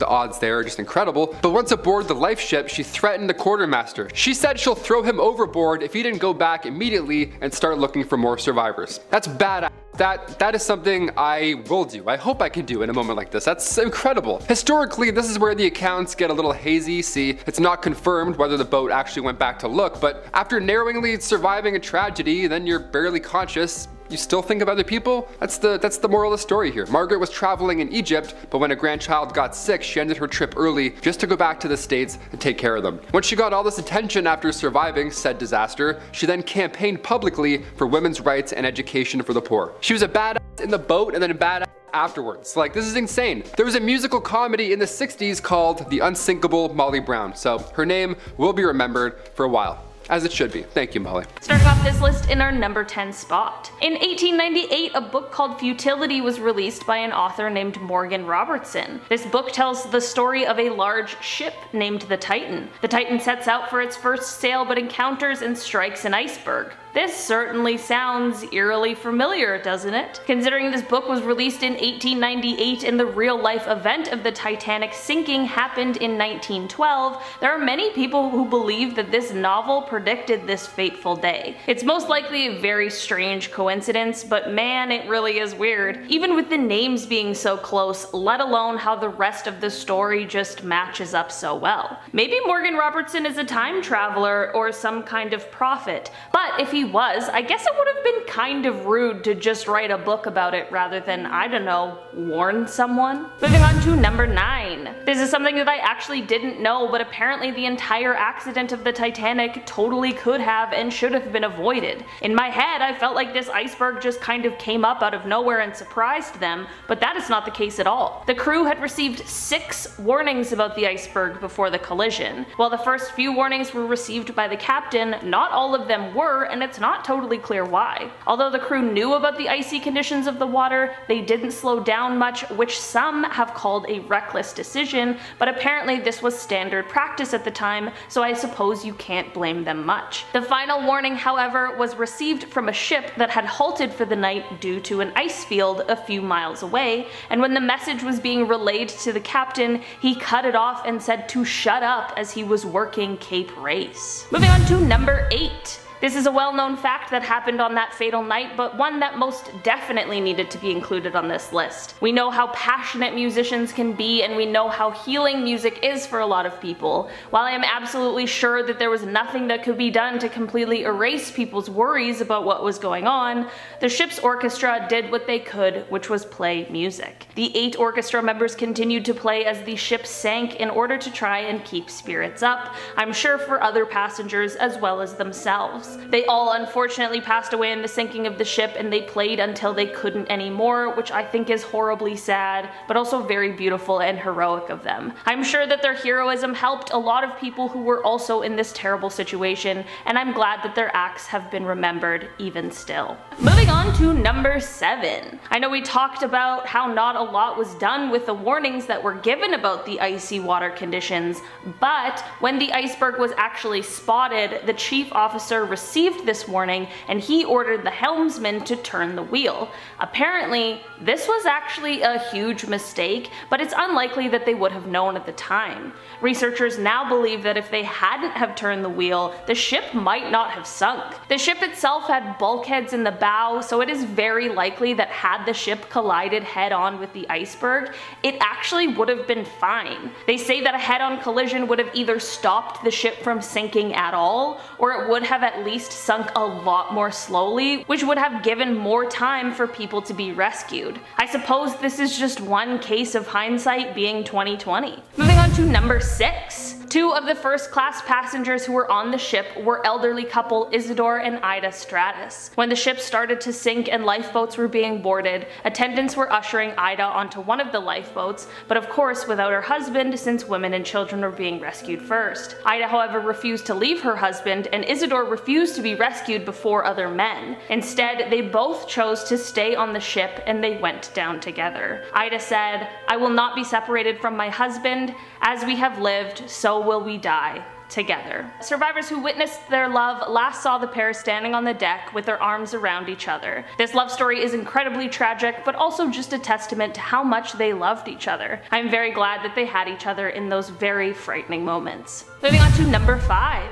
The ship was carrying around 2,208 passengers at the time of the incident. That is obviously a lot of people. Before the ship set sail, however, in the preparation, they didn't want to clutter the deck, and the decision was made to reduce the number of lifeboats on board to just 20 with an additional 4 that were collapsible. This is only enough for half of the passengers on board, even if they were able to launch all of them. This decision was obviously extremely detrimental, and it is possible that many more people could have been saved if it wasn't for this. I wonder if anyone who was on the ship at the time knew about this previous decision that had been made, because that would be so irritating. I think throughout this list it has become very clear that the safety preparations for this cruise were just not up to par, but I guess that is just a lesson learned for all of us. Moving on to number 4. The Titanic had a well-stocked bar as it had 1500 bottles of wine, 8000 cigars, and 20,000 bottles of beer on board. One less than great thing about this is the fact that all of the alcohol was only reserved for first class passengers.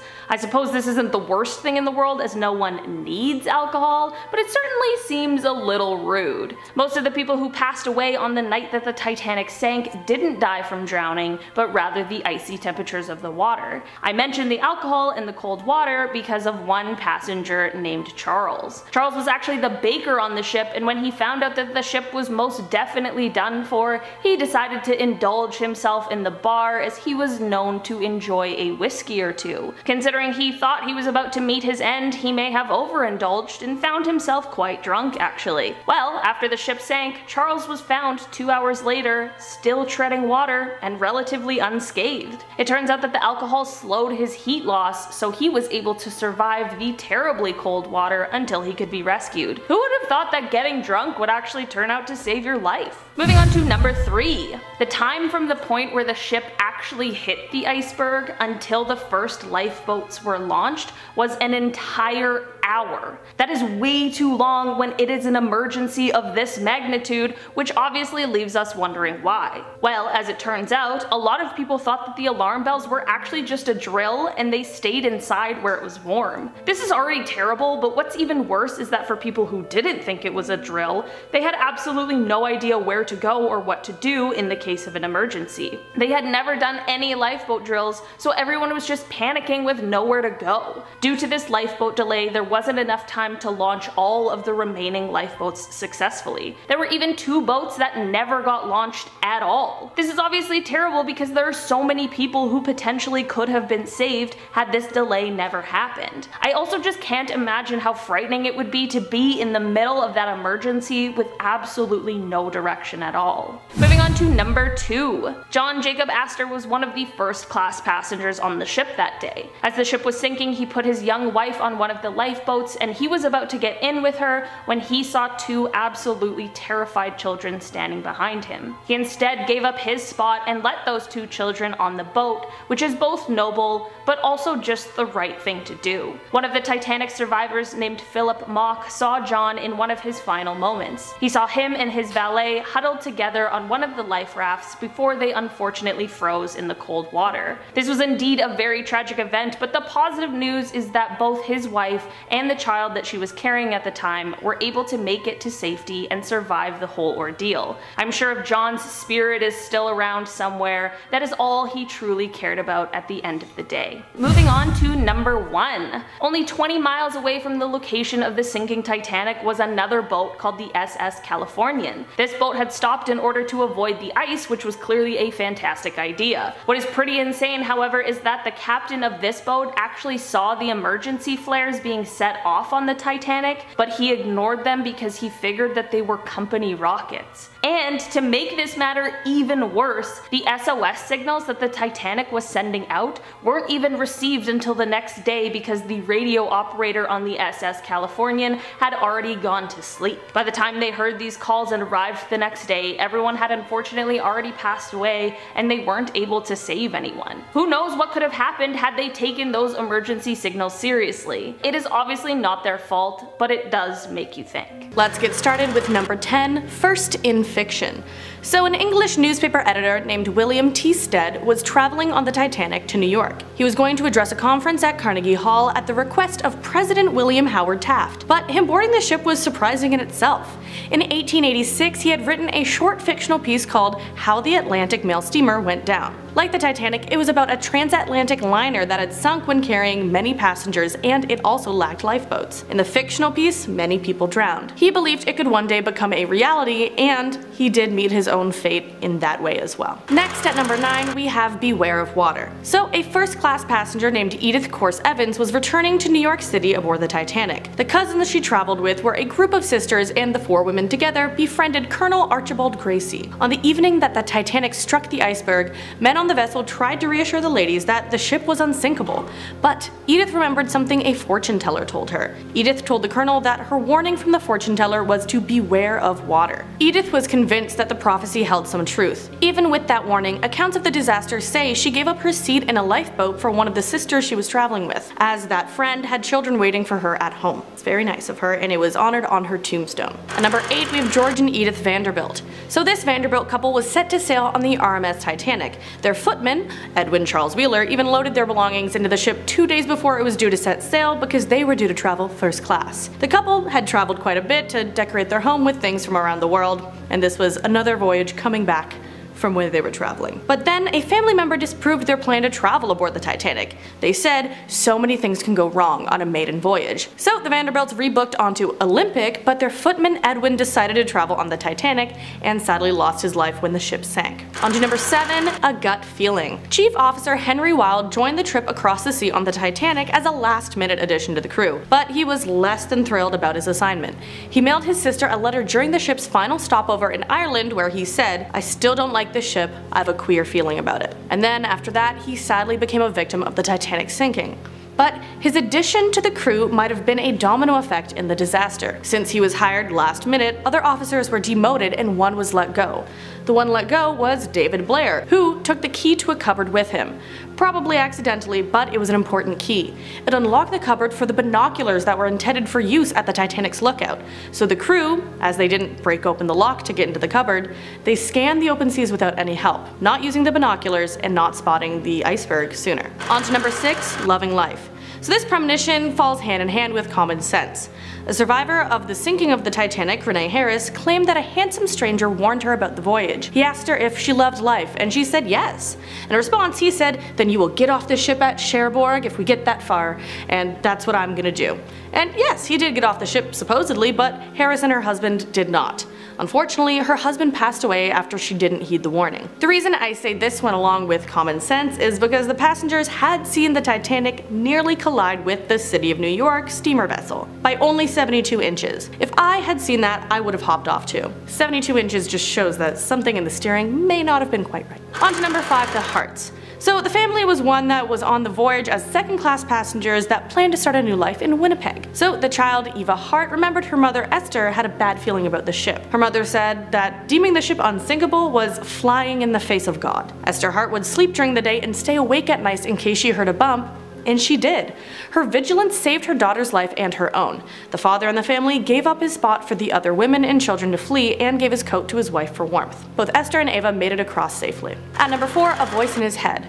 When Alex Mackenzie was walking along the gangway to board the Titanic, a voice in his head shared a warning. It said he would lose his life if he stayed on the liner. He looked around and didn't see anyone that could be the voice, so he shook it off. But the warning didn't stop and he heard the voice a second, and then a third time. Each time it was stronger than the time before. At that point he decided to turn back and return to his home in Glasgow, Scotland. And since it was a luxurious maiden voyage with second or third class ticket he received from his grandparents as a gift, his family wasn't too happy to see him return. But their mood swiftly changed when they heard the news of the disaster. Next, at number 3, we have foreboding. So John Coffey hopped aboard the ship at Southampton since he signed on to serve as a stoker or boiler room foreman for £5 a month. He was scheduled for the trip across the Atlantic, but he hopped off during the stop at Queenstown, Ireland, also his hometown. Weeks after the ship met its end, he said it was because he felt a strange foreboding about the voyage. After that, he signed on to work on another ship. For this one, I would not be surprised if this person maybe made up their story to cover up the fact they were hitching a ride on the ship by working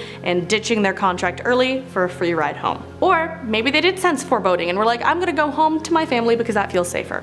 It could be either way. Next at number two, we have another Edith third one of the video. Popular name. So Edith Rosenbaum, aka Edith Russell, was a first class passenger traveling on the RMS Titanic. She did at one point say the boat was the most wonderful boat you could think of, but she also said she had a feeling she couldn't get over, a feeling of depression and a premonition of trouble. Edith did survive the disaster along with her musical toy pig though. Reportedly, the music that came from the toy provided comfort to the fellow passengers as they waited for help on the lifeboat for four hours. She continued to travel extensively throughout her life after that and survived tornadoes tornadoes, car accidents, and another shipwreck. So maybe her premonitions were helping her. Last but not least at number one, futility. So Morgan Robertson wrote a book called Futility or the Wreck of the Titan in 1898. Although it was written 14 years before the disaster, and that it was 100% fiction, it had many parallels to the real life event. It was about the Titan, the largest luxury liner in the world. And yes, the name is already similar. But here's the kicker, Robertson wrote that the liner sank in the North Atlantic Ocean after hitting an iceberg. Hmm. So after the event, Robertson denied he had any psychic abilities and that he was working off knowledge alone. He knew of shipbuilding trends and the dangers that modern ships then faced. But still, the similarities are uncanny. Both were seen for the most part as unsinkable, were about 270 meters long, could go as fast as 20 knots, and had a barely legal number of lifeboats. Both even sank 400 nautical miles away from Newfoundland, Canada on an April evening. I wish the crew of the Titanic had read that book so that they could keep an eye out because that one's just scary accurate. Starting us off at number 10, we have the final resting place. When it comes to Titanic related hauntings, it should come as no big surprise that the actual site where the tragedy occurred is considered one of the most haunted spots of all. According to those who have visited since the fateful day, strange sights such as odd glowing orbs of light can be seen floating around at night, and many believe they are actually the spirits of those who died at sea. But that's not all. Deep sea vessels that have explored the area near the sinking have reported to receive eerie, faint SOS calls that fade in and out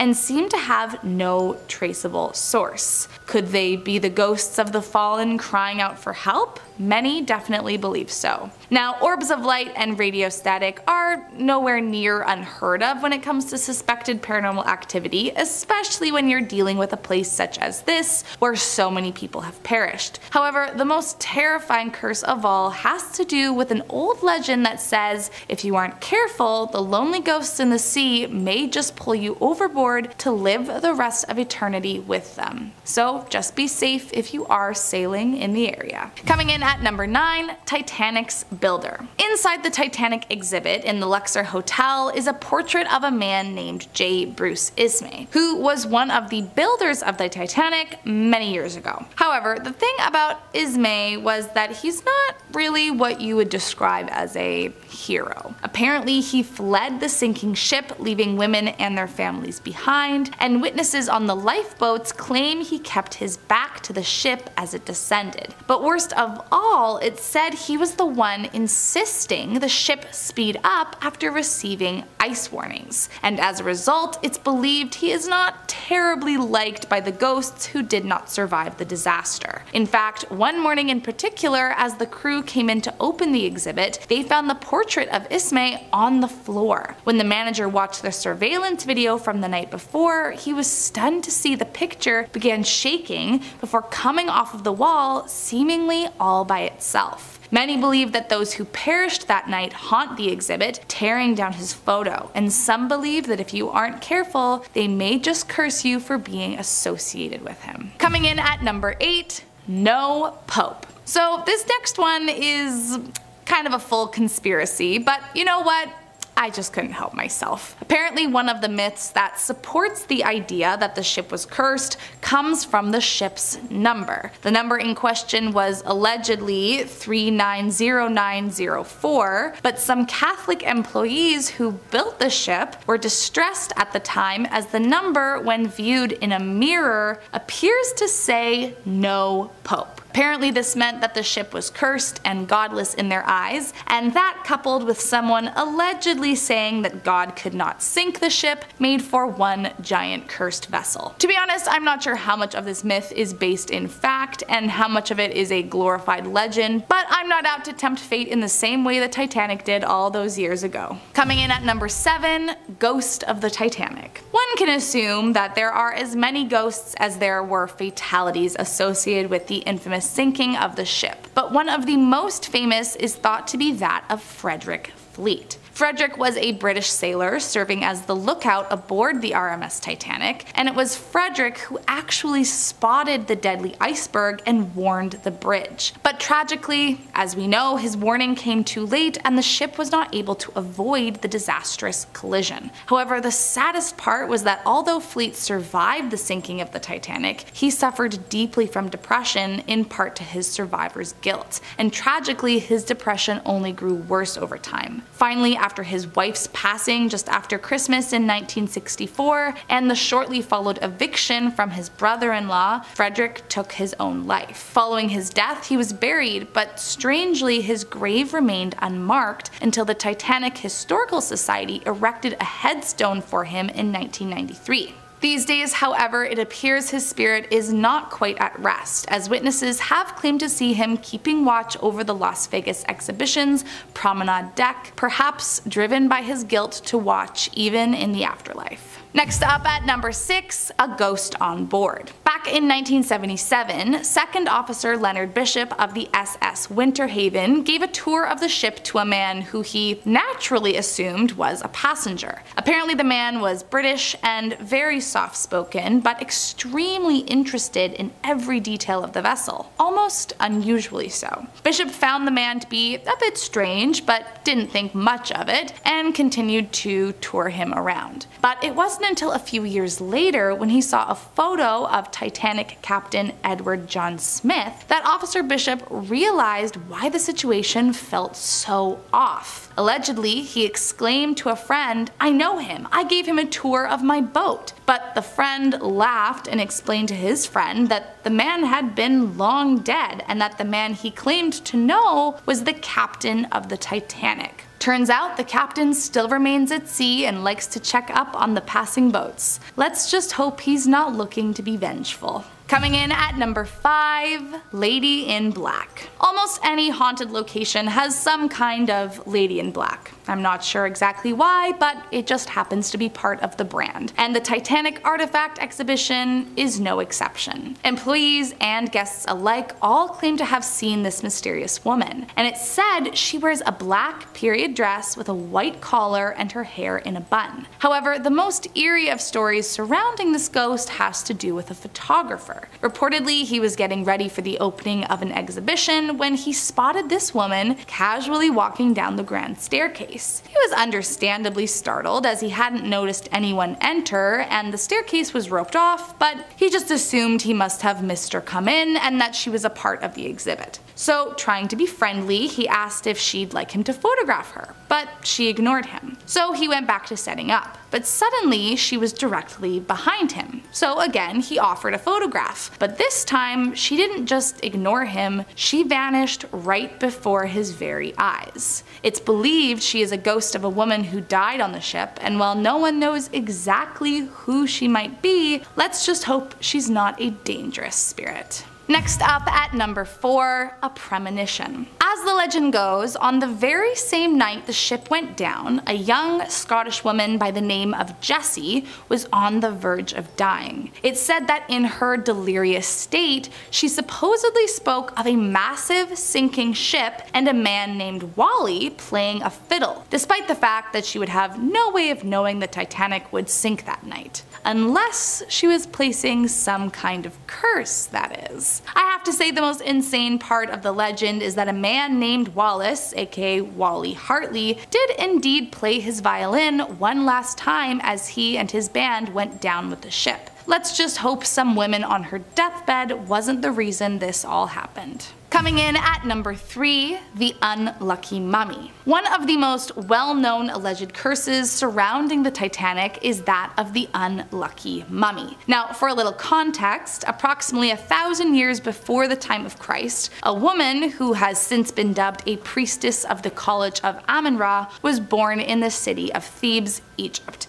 And it is believed this mummy is her embalmed body. Now, in terms of the unluckiness surrounding her mummy, in the late 1890s, archaeologists discovered the burial site during a dig near Egypt's lost city of Luxor. According to legend, a rich Englishman arranged for the purchase of the mummy and her casket. However, as reported by the Museum of Unnatural History, the man inexplicably vanished before his purchase could be delivered. Then later, all three of his travel companions suffered misfortune. One of the men died, another was disabled in an accident, and the third suffered financial ruin. From that day forward, it was believed that anyone or anything that this mummy came into contact with would be cursed by misfortune. And rumors suggest that the mummy was eventually purchased by an American archaeologist who arranged for it to be transported to the United States aboard the Titanic. So, for all we know, some ancient cursed mummy could have cursed the ship and sent it to its dark fate. Coming in at number 2,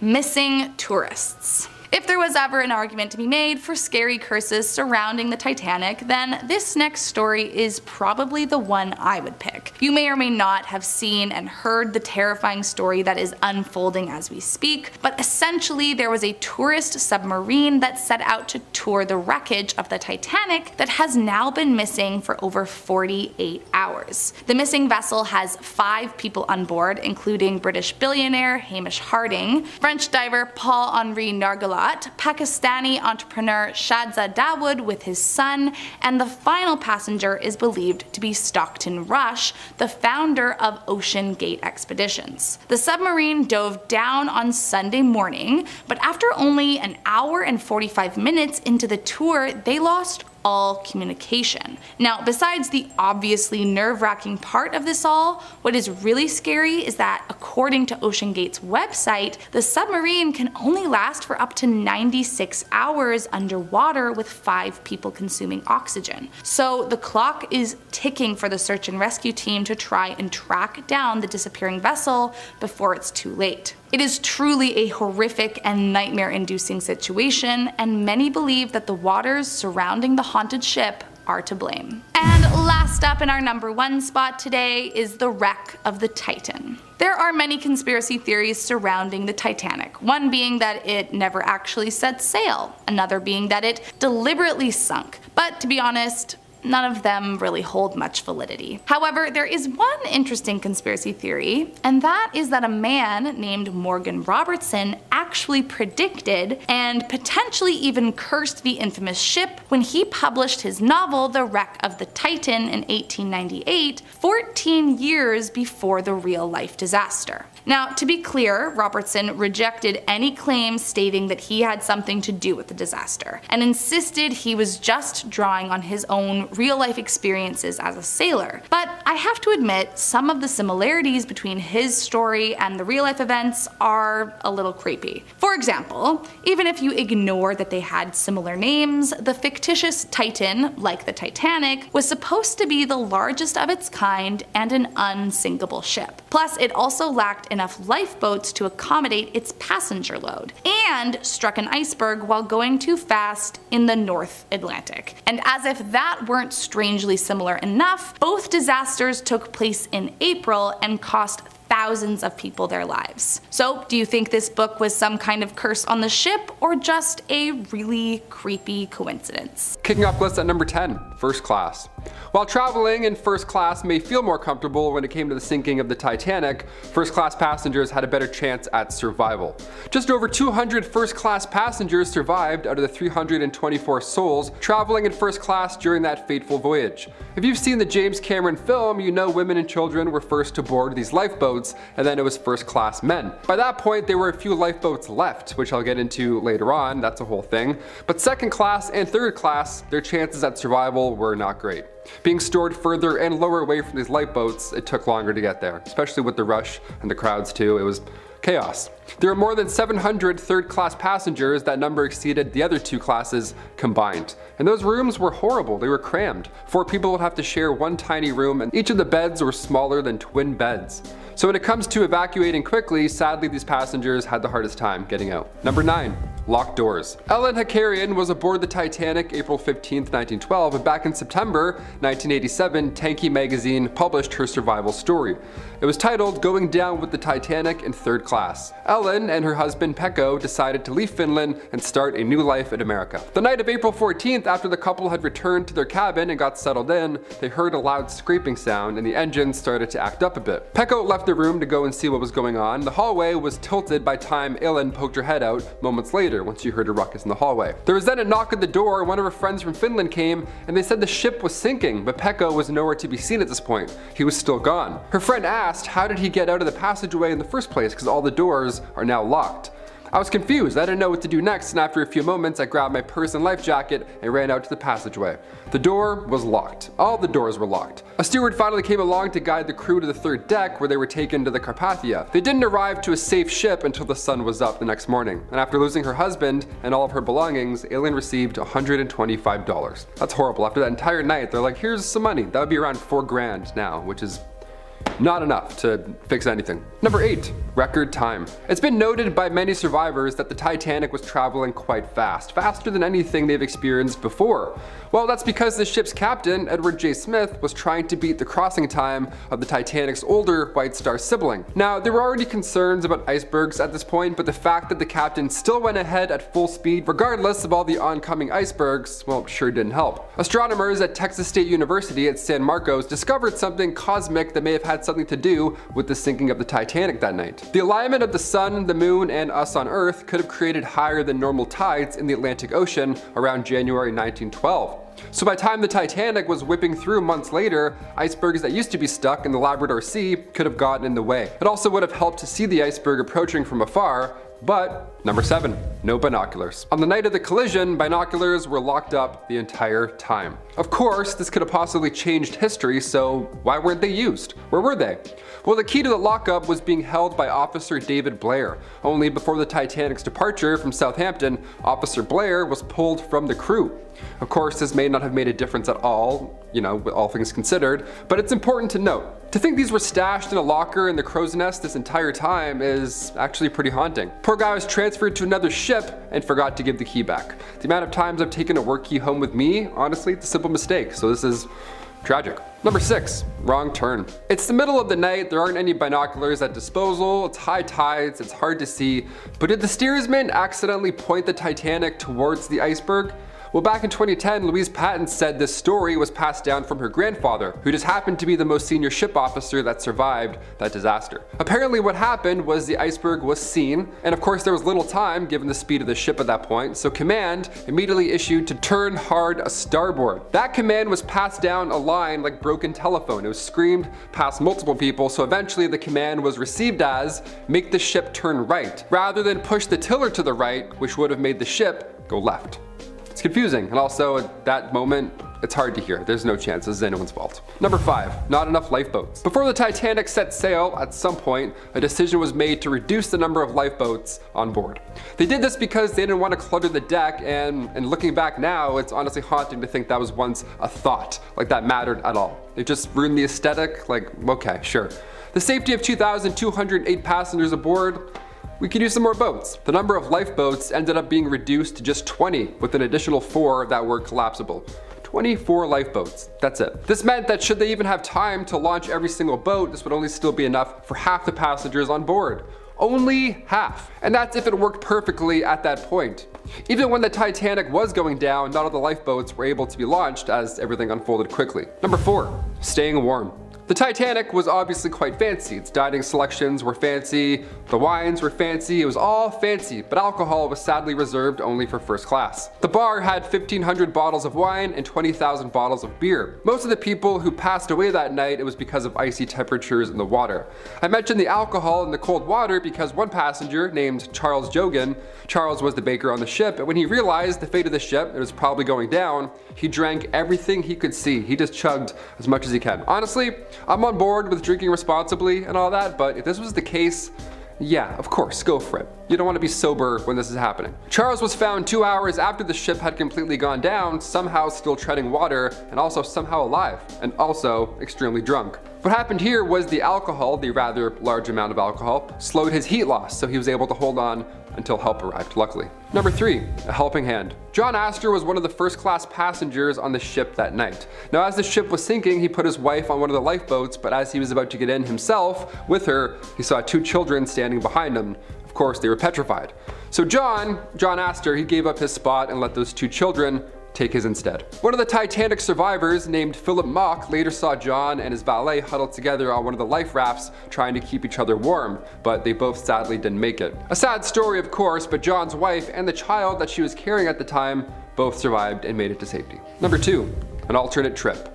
Not much was found of the Titanic afterwards, the pressure of the ocean, all those many secrets are truly lost to history. But there was an inspection card found, it belonged to a woman named Marion Meanwell. Now this may seem like a mundane find at first, but it revealed a grim story for the woman. Once the card was found, it was revealed that Marion was not intended to be on the Titanic that night, but by some turn of events, she unfortunately found herself as one of those passengers. The card shows that originally she was supposed to be traveling on a ship called the Majestic, but due to a coal strike, the Majestic voyage was delayed, and she instead was then assigned to the Titanic. On Marion's card, you can see Majestic crossed out, and the new trip says Titanic. It's grim, it's very heartbreaking. And finally, number one, ignored flares. Barely 20 miles away from where the Titanic sunk, there was another boat. This one was called the SS Californian. This boat had stopped in order to avoid the ice. The crew on the Titanic had also received warnings about the icebergs. The Titanic had actually received about six warnings before the collision. Only the first few were received by the captain. Now the captain of this other boat slowed down and actually saw the emergency flares being set off on the Titanic ahead, but he ignored them because he thought they were company rockets. And the SOS signals that the Titanic sent out as well weren't received until the next day because the radio operator on that SS Californian had gone to sleep.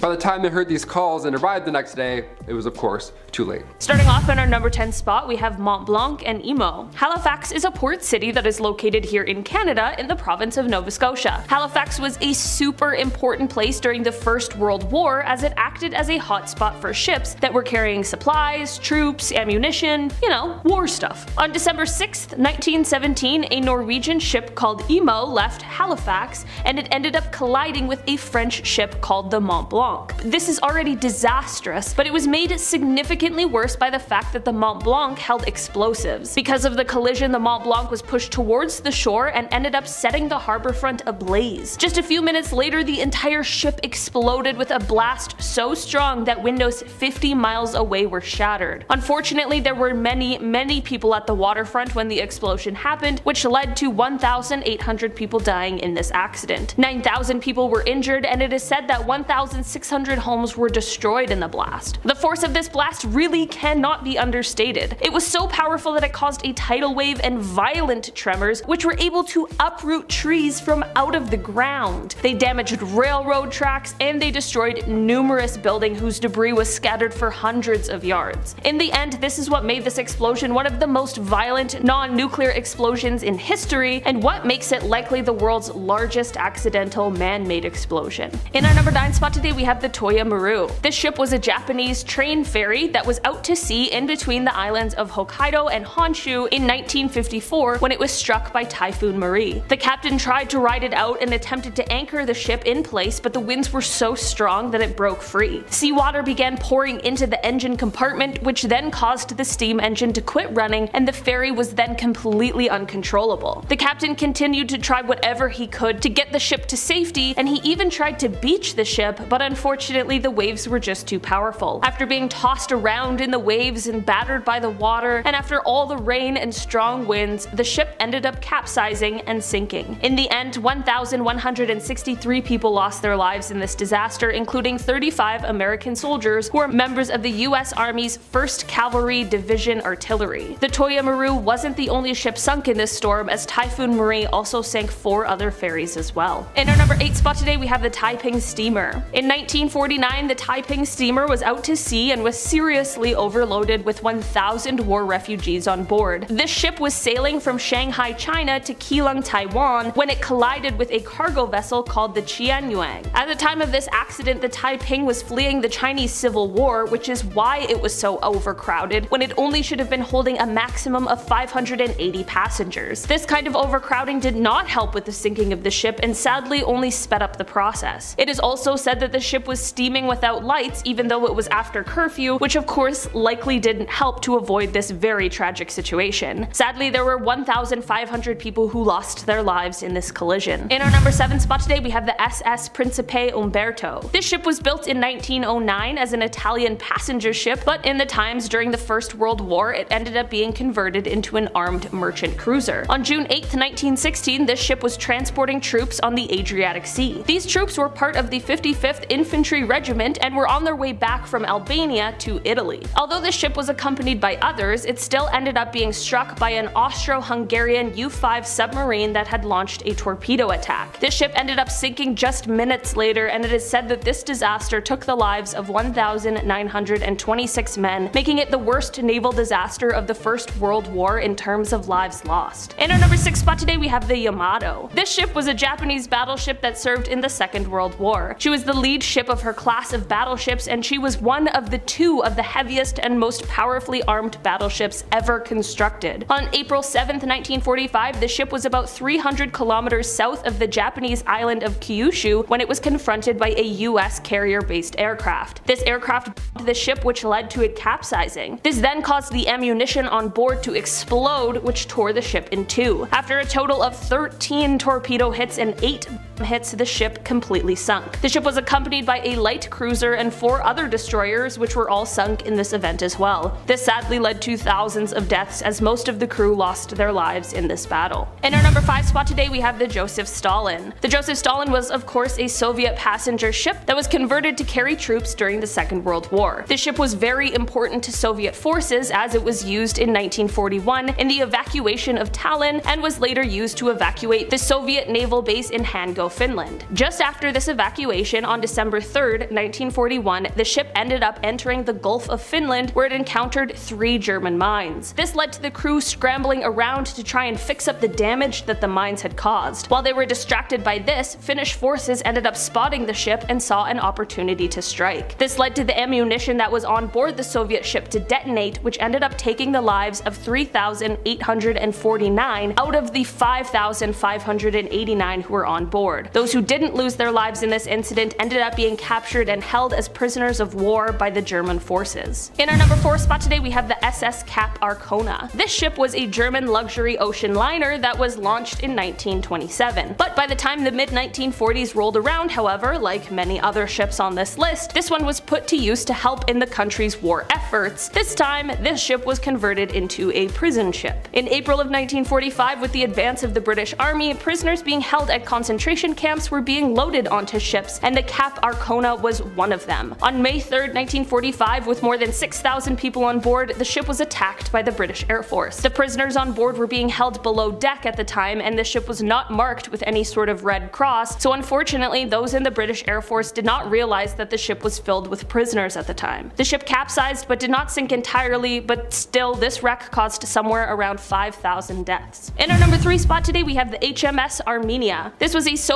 passenger ship that was first launched in November of 1928 and she had a maximum capacity of 980 passengers. During the Second World War this ship was put to use by transporting troops and from October 9, 1941 the ship was used to evacuate soldiers, workers, and materials from Odessa. In November of 1941 there was the invasion of German troops that led to an extreme rush to evacuate the hospitals in the city of Sevastopol and the Armenia was repurposed again into a hospital ship. This led to about 4,000 wounded people and medical personnel from 11 different hospitals being loaded onto the ship to set sail towards Yalta. Once there, another 1,000 passengers were loaded onto the ship in a rush, none of which were officially recorded. On November 7th, the ship was attacked by a German Heinkel HE-111 and in just 4 minutes the ship sadly sank, taking the lives of almost everyone on board. Just 8 people survived the entire ordeal. In German records there is no mention that the Armenia was a hospital ship, so it's unclear if they omitted that tale or if they mistakenly believed that it was a troop carrier. Either way, it is absolutely devastating. In our number 2 spot today we have the Arctic. This ship made its maiden transatlantic voyage in 1850 and it was best known for its speed. This ship was able to cross the Atlantic in just 9 days. On September 27, 1854, the ship was sailing from Liverpool to New York City when it collided with a French steamship called the Vesta. This occurred in the thick fog that was found just off of Cape Race, Newfoundland. At first it appeared as though the Vesta had received more damage in the collision, but soon the captain of the Arctic realized that the ship was rapidly taking on seawater. He decided to abandon the Vesta and head for land in order to save his passengers, but once he left the other ship, the damaged Arctic continued to take on water, which then put out the first furnaces and caused engines to stop working. This is when the captain ordered that those who were the most vulnerable be placed into the lifeboats first, but instead a number of crew and male passengers dashed towards the lifeboats, leaving hundreds of people to go down with the ship. There were about 400 people on board the ship that day and only 87 of them survived. 22 of the survivors were passengers and the rest crew. The captain went down with the ship, but he managed to stay alive by clinging to some wreckage until rescue came. The other ship, the Vesta, did not sink and ended up making it to St. John's, Newfoundland. The crew members who abandoned everyone else on the ship were criticized for their behavior, which violated the laws that forbid sailors to put their own safety before that of passengers in emergencies. Despite this, however, none of the men were prosecuted for their actions. In our number one spot today, we have the RMS Lancastria. This ship was a British ocean liner, but in April of 1940, she was reconstructed to be a troop ship under the command of Captain Rudolph Sharp. He sent the ship off to help aid in the evacuation of British British troops and citizens from France, and on June 14, 1940, the ship departed from Liverpool. On June 16th, the ship anchored near the town of St. Nazaire, and the following day, somewhere between 4,000 and 9,000 refugees loaded on board. This included civilians, soldiers, and other military officials. While carrying all of these people, around 4 p.m. on June 17th, the German Junkers Ju-88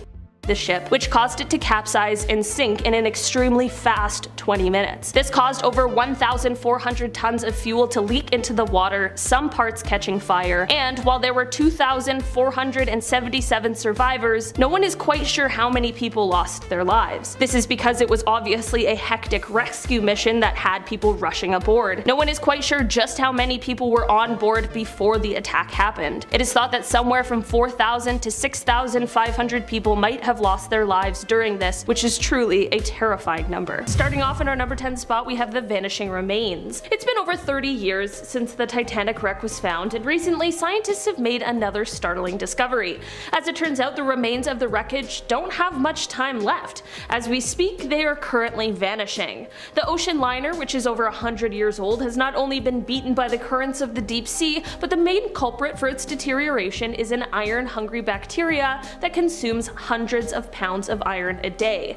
This bacteria, which has been named Halomonas titanicae, is likely going to render the ship completely eroded by 2030. This means that researchers who want to discover more about the Titanic really are racing against time to get down there and see all that they can before the remains are gone, and the story of the Titanic remains just that. In our number 9 spot today we have portholes.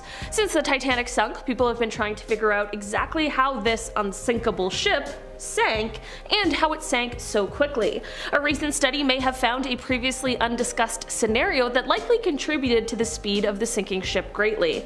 On that fateful day, of course, the Titanic grinded to a halt, and at that point the passengers had no idea why. This led to many of them opening up the portholes in the ship to get a look out in case they could see anything that would be stopping them from continuing on their journey. Many of those who opened the portholes didn't close them after, and with every open porthole that went underwater, water, it is estimated that it doubled the size of the damage to the ship. It is possible that these open windows may have caused the ship to sink at double the rate it would have had those windows been closed. Of course, this is not to blame the passengers, however, as this tragedy is certainly not their fault. In our number 8 spot today we have the brittle fracture. This is another one of those theories behind how the Titanic found itself at the bottom of the North Atlantic. There was an expedition down to the wreckage of the Titanic recently, and it revealed something interesting about the hull of the ship. There were these large pieces of steel that were recovered, each with about 3 rivet holes 1.25 inches in diameter. These pieces revealed that the hull's iron rivets failed to brittle fracture, which is the sudden and rapid snapping. This means that there was a failure in the structural materials, and this usually happens as a result of low temperature, high impact loading, and high sulfur content all three of which were present on the night of the tragedy. The water temperature was below freezing, the Titanic was traveling at a high speed upon impact with the iceberg, and the hull steel contained high levels of sulfur. These chunks of metal gave researchers one of the main answers as to why the Titanic sunk that night. In our number 7 spot today we have Rich Remains.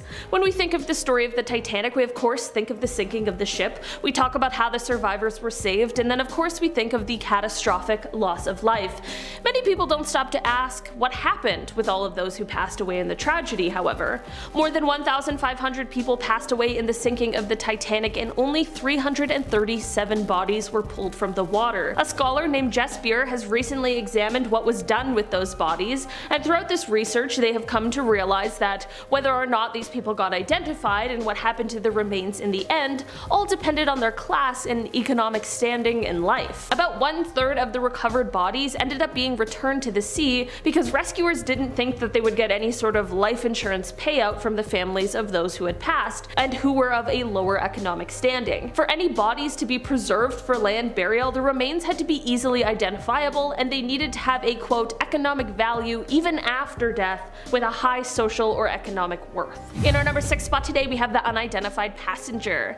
Until about 10 years ago there were human remains that were recovered from the Titanic sinking that were unidentified despite researchers' best efforts. Initially there was one identity that they thought they could link the body to, but there were also five other identities on the table and no one was sure how to confirm who this person really was.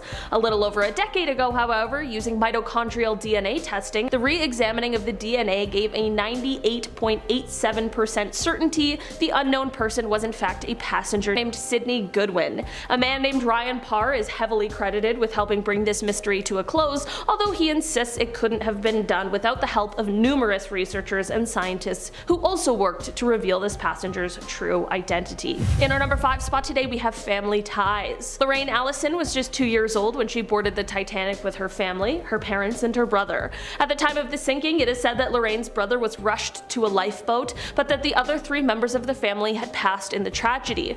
Despite this, only Lorraine's father's body was found, which led to the question of what happened to Lorraine and her mother. 28 years later, a woman named Helen Kramer came forward and said that she, in fact, was the missing Lorraine. Of course, people were skeptical and weren't willing to believe this, but until her death in 1992, Helen continued to claim that she was, in fact, Lorraine. After her passing, her granddaughter, Debrina Woods, resurfaced the claims by saying that she had inherited more evidence from her grandmother and that the truth should be told. Finally, a group of Titanic researchers with the power of modern science decided that they all wanted to solve this mystery once and for all. They did this by convincing descendants from each family to take a DNA test and once this was done, they were able to prove that there was no relationship between the two. They were finally able to put this long disputed claim to rest officially. In our number 4 spot today we have The Telegraph. So you know how people often explain that perhaps many more people would have been saved from the Titanic wreck if the nearby SS Californian had their telegraph operator awake when the distress call was sent? For the man who went to sleep, that's a heavy burden to bear for the rest of your life, but a recent study suggests that even if he was awake, there likely wouldn't have been anything that he could have done. Firstly, there wasn't any rule stating that this guy needed to be awake for 24 hours to man the telegraph machine, so right here, he is off the hook. This study, however, suggests that even if he was awake and the ship received the distress call, the ice around the Titanic was so thick they likely wouldn't have been able to get through to save the passengers either way. Turns out that this disaster really just had the perfect recipe for tragedy. In our number 3 spot today we have the Titanic radio. This is a piece of the ship that has not yet been recovered, but it's the focus of much debate on whether or not it should be retrieved from the wreckage. Known in 1912 as the Marconi wireless telegraph machine, the radio on the Titanic sent distress calls to nearby ships that ended up saving the lives of 700 people in lifeboats. Despite how many people died in the Titanic tragedy, there were debates about whether or not to retrieve the artifact because of the fact that there might still be remains located in the same area as the radio is. Lawyers have argued against the recovery of the radio because the dive plan did not include the prospect of there being human remains located down there. It also was argued because in order to retrieve it, they would need to cut into the ship's radio compartment, which was strongly opposed by preservation advocates. As of right now, it does appear as though the dive to retrieve the radio will still occur, but of course the pandemic delayed things quite a bit, so at this point it isn't exactly clear when. This radio would be a very valuable artifact, but it also would hold an eerie tale of exactly when and how the radio was used during the final moments of the Titanic. In our number 2 spot today we have the inspection card. This inspection card once belonged to a woman named Marion Meanwell. What could possibly be worrisome about an inspection card? Well, it shows how Marion was not intended to be on the Titanic, but by some turn of events, she unfortunately found herself as one of the passengers. The card shows that she was originally meant to be traveling on a ship called the Majestic. For some reason, the trip she originally had planned was delayed, and she instead was assigned to the ill-fated Titanic. You can see that the word Majestic was crossed out on her card, which shows us the change in plans. If only people were able to see what was about to strike and they could have warned her. If Marion's body was ever recovered, unfortunately, she has never been identified. In our number one spot today, we have the bell. The bell from the crow's nest of the Titanic was recovered from the wreckage and returned to land, where it now resides in the Titanic Museum. The eerie story behind this bell is that it would have been the one that was rung three times by the lookout Frederick Fleet in order to attempt to warn of the iceberg that was ahead. Frederick, as well as the other lookout who was with him, Reginald Lee, both ended up thankfully surviving the incident and went on to later explain what happened from their point of view. They explained that if they had been given binoculars to assist with their job, they could have seen the iceberg sooner. When asked how much sooner, Frederick replied, quote, well enough to get out of the way.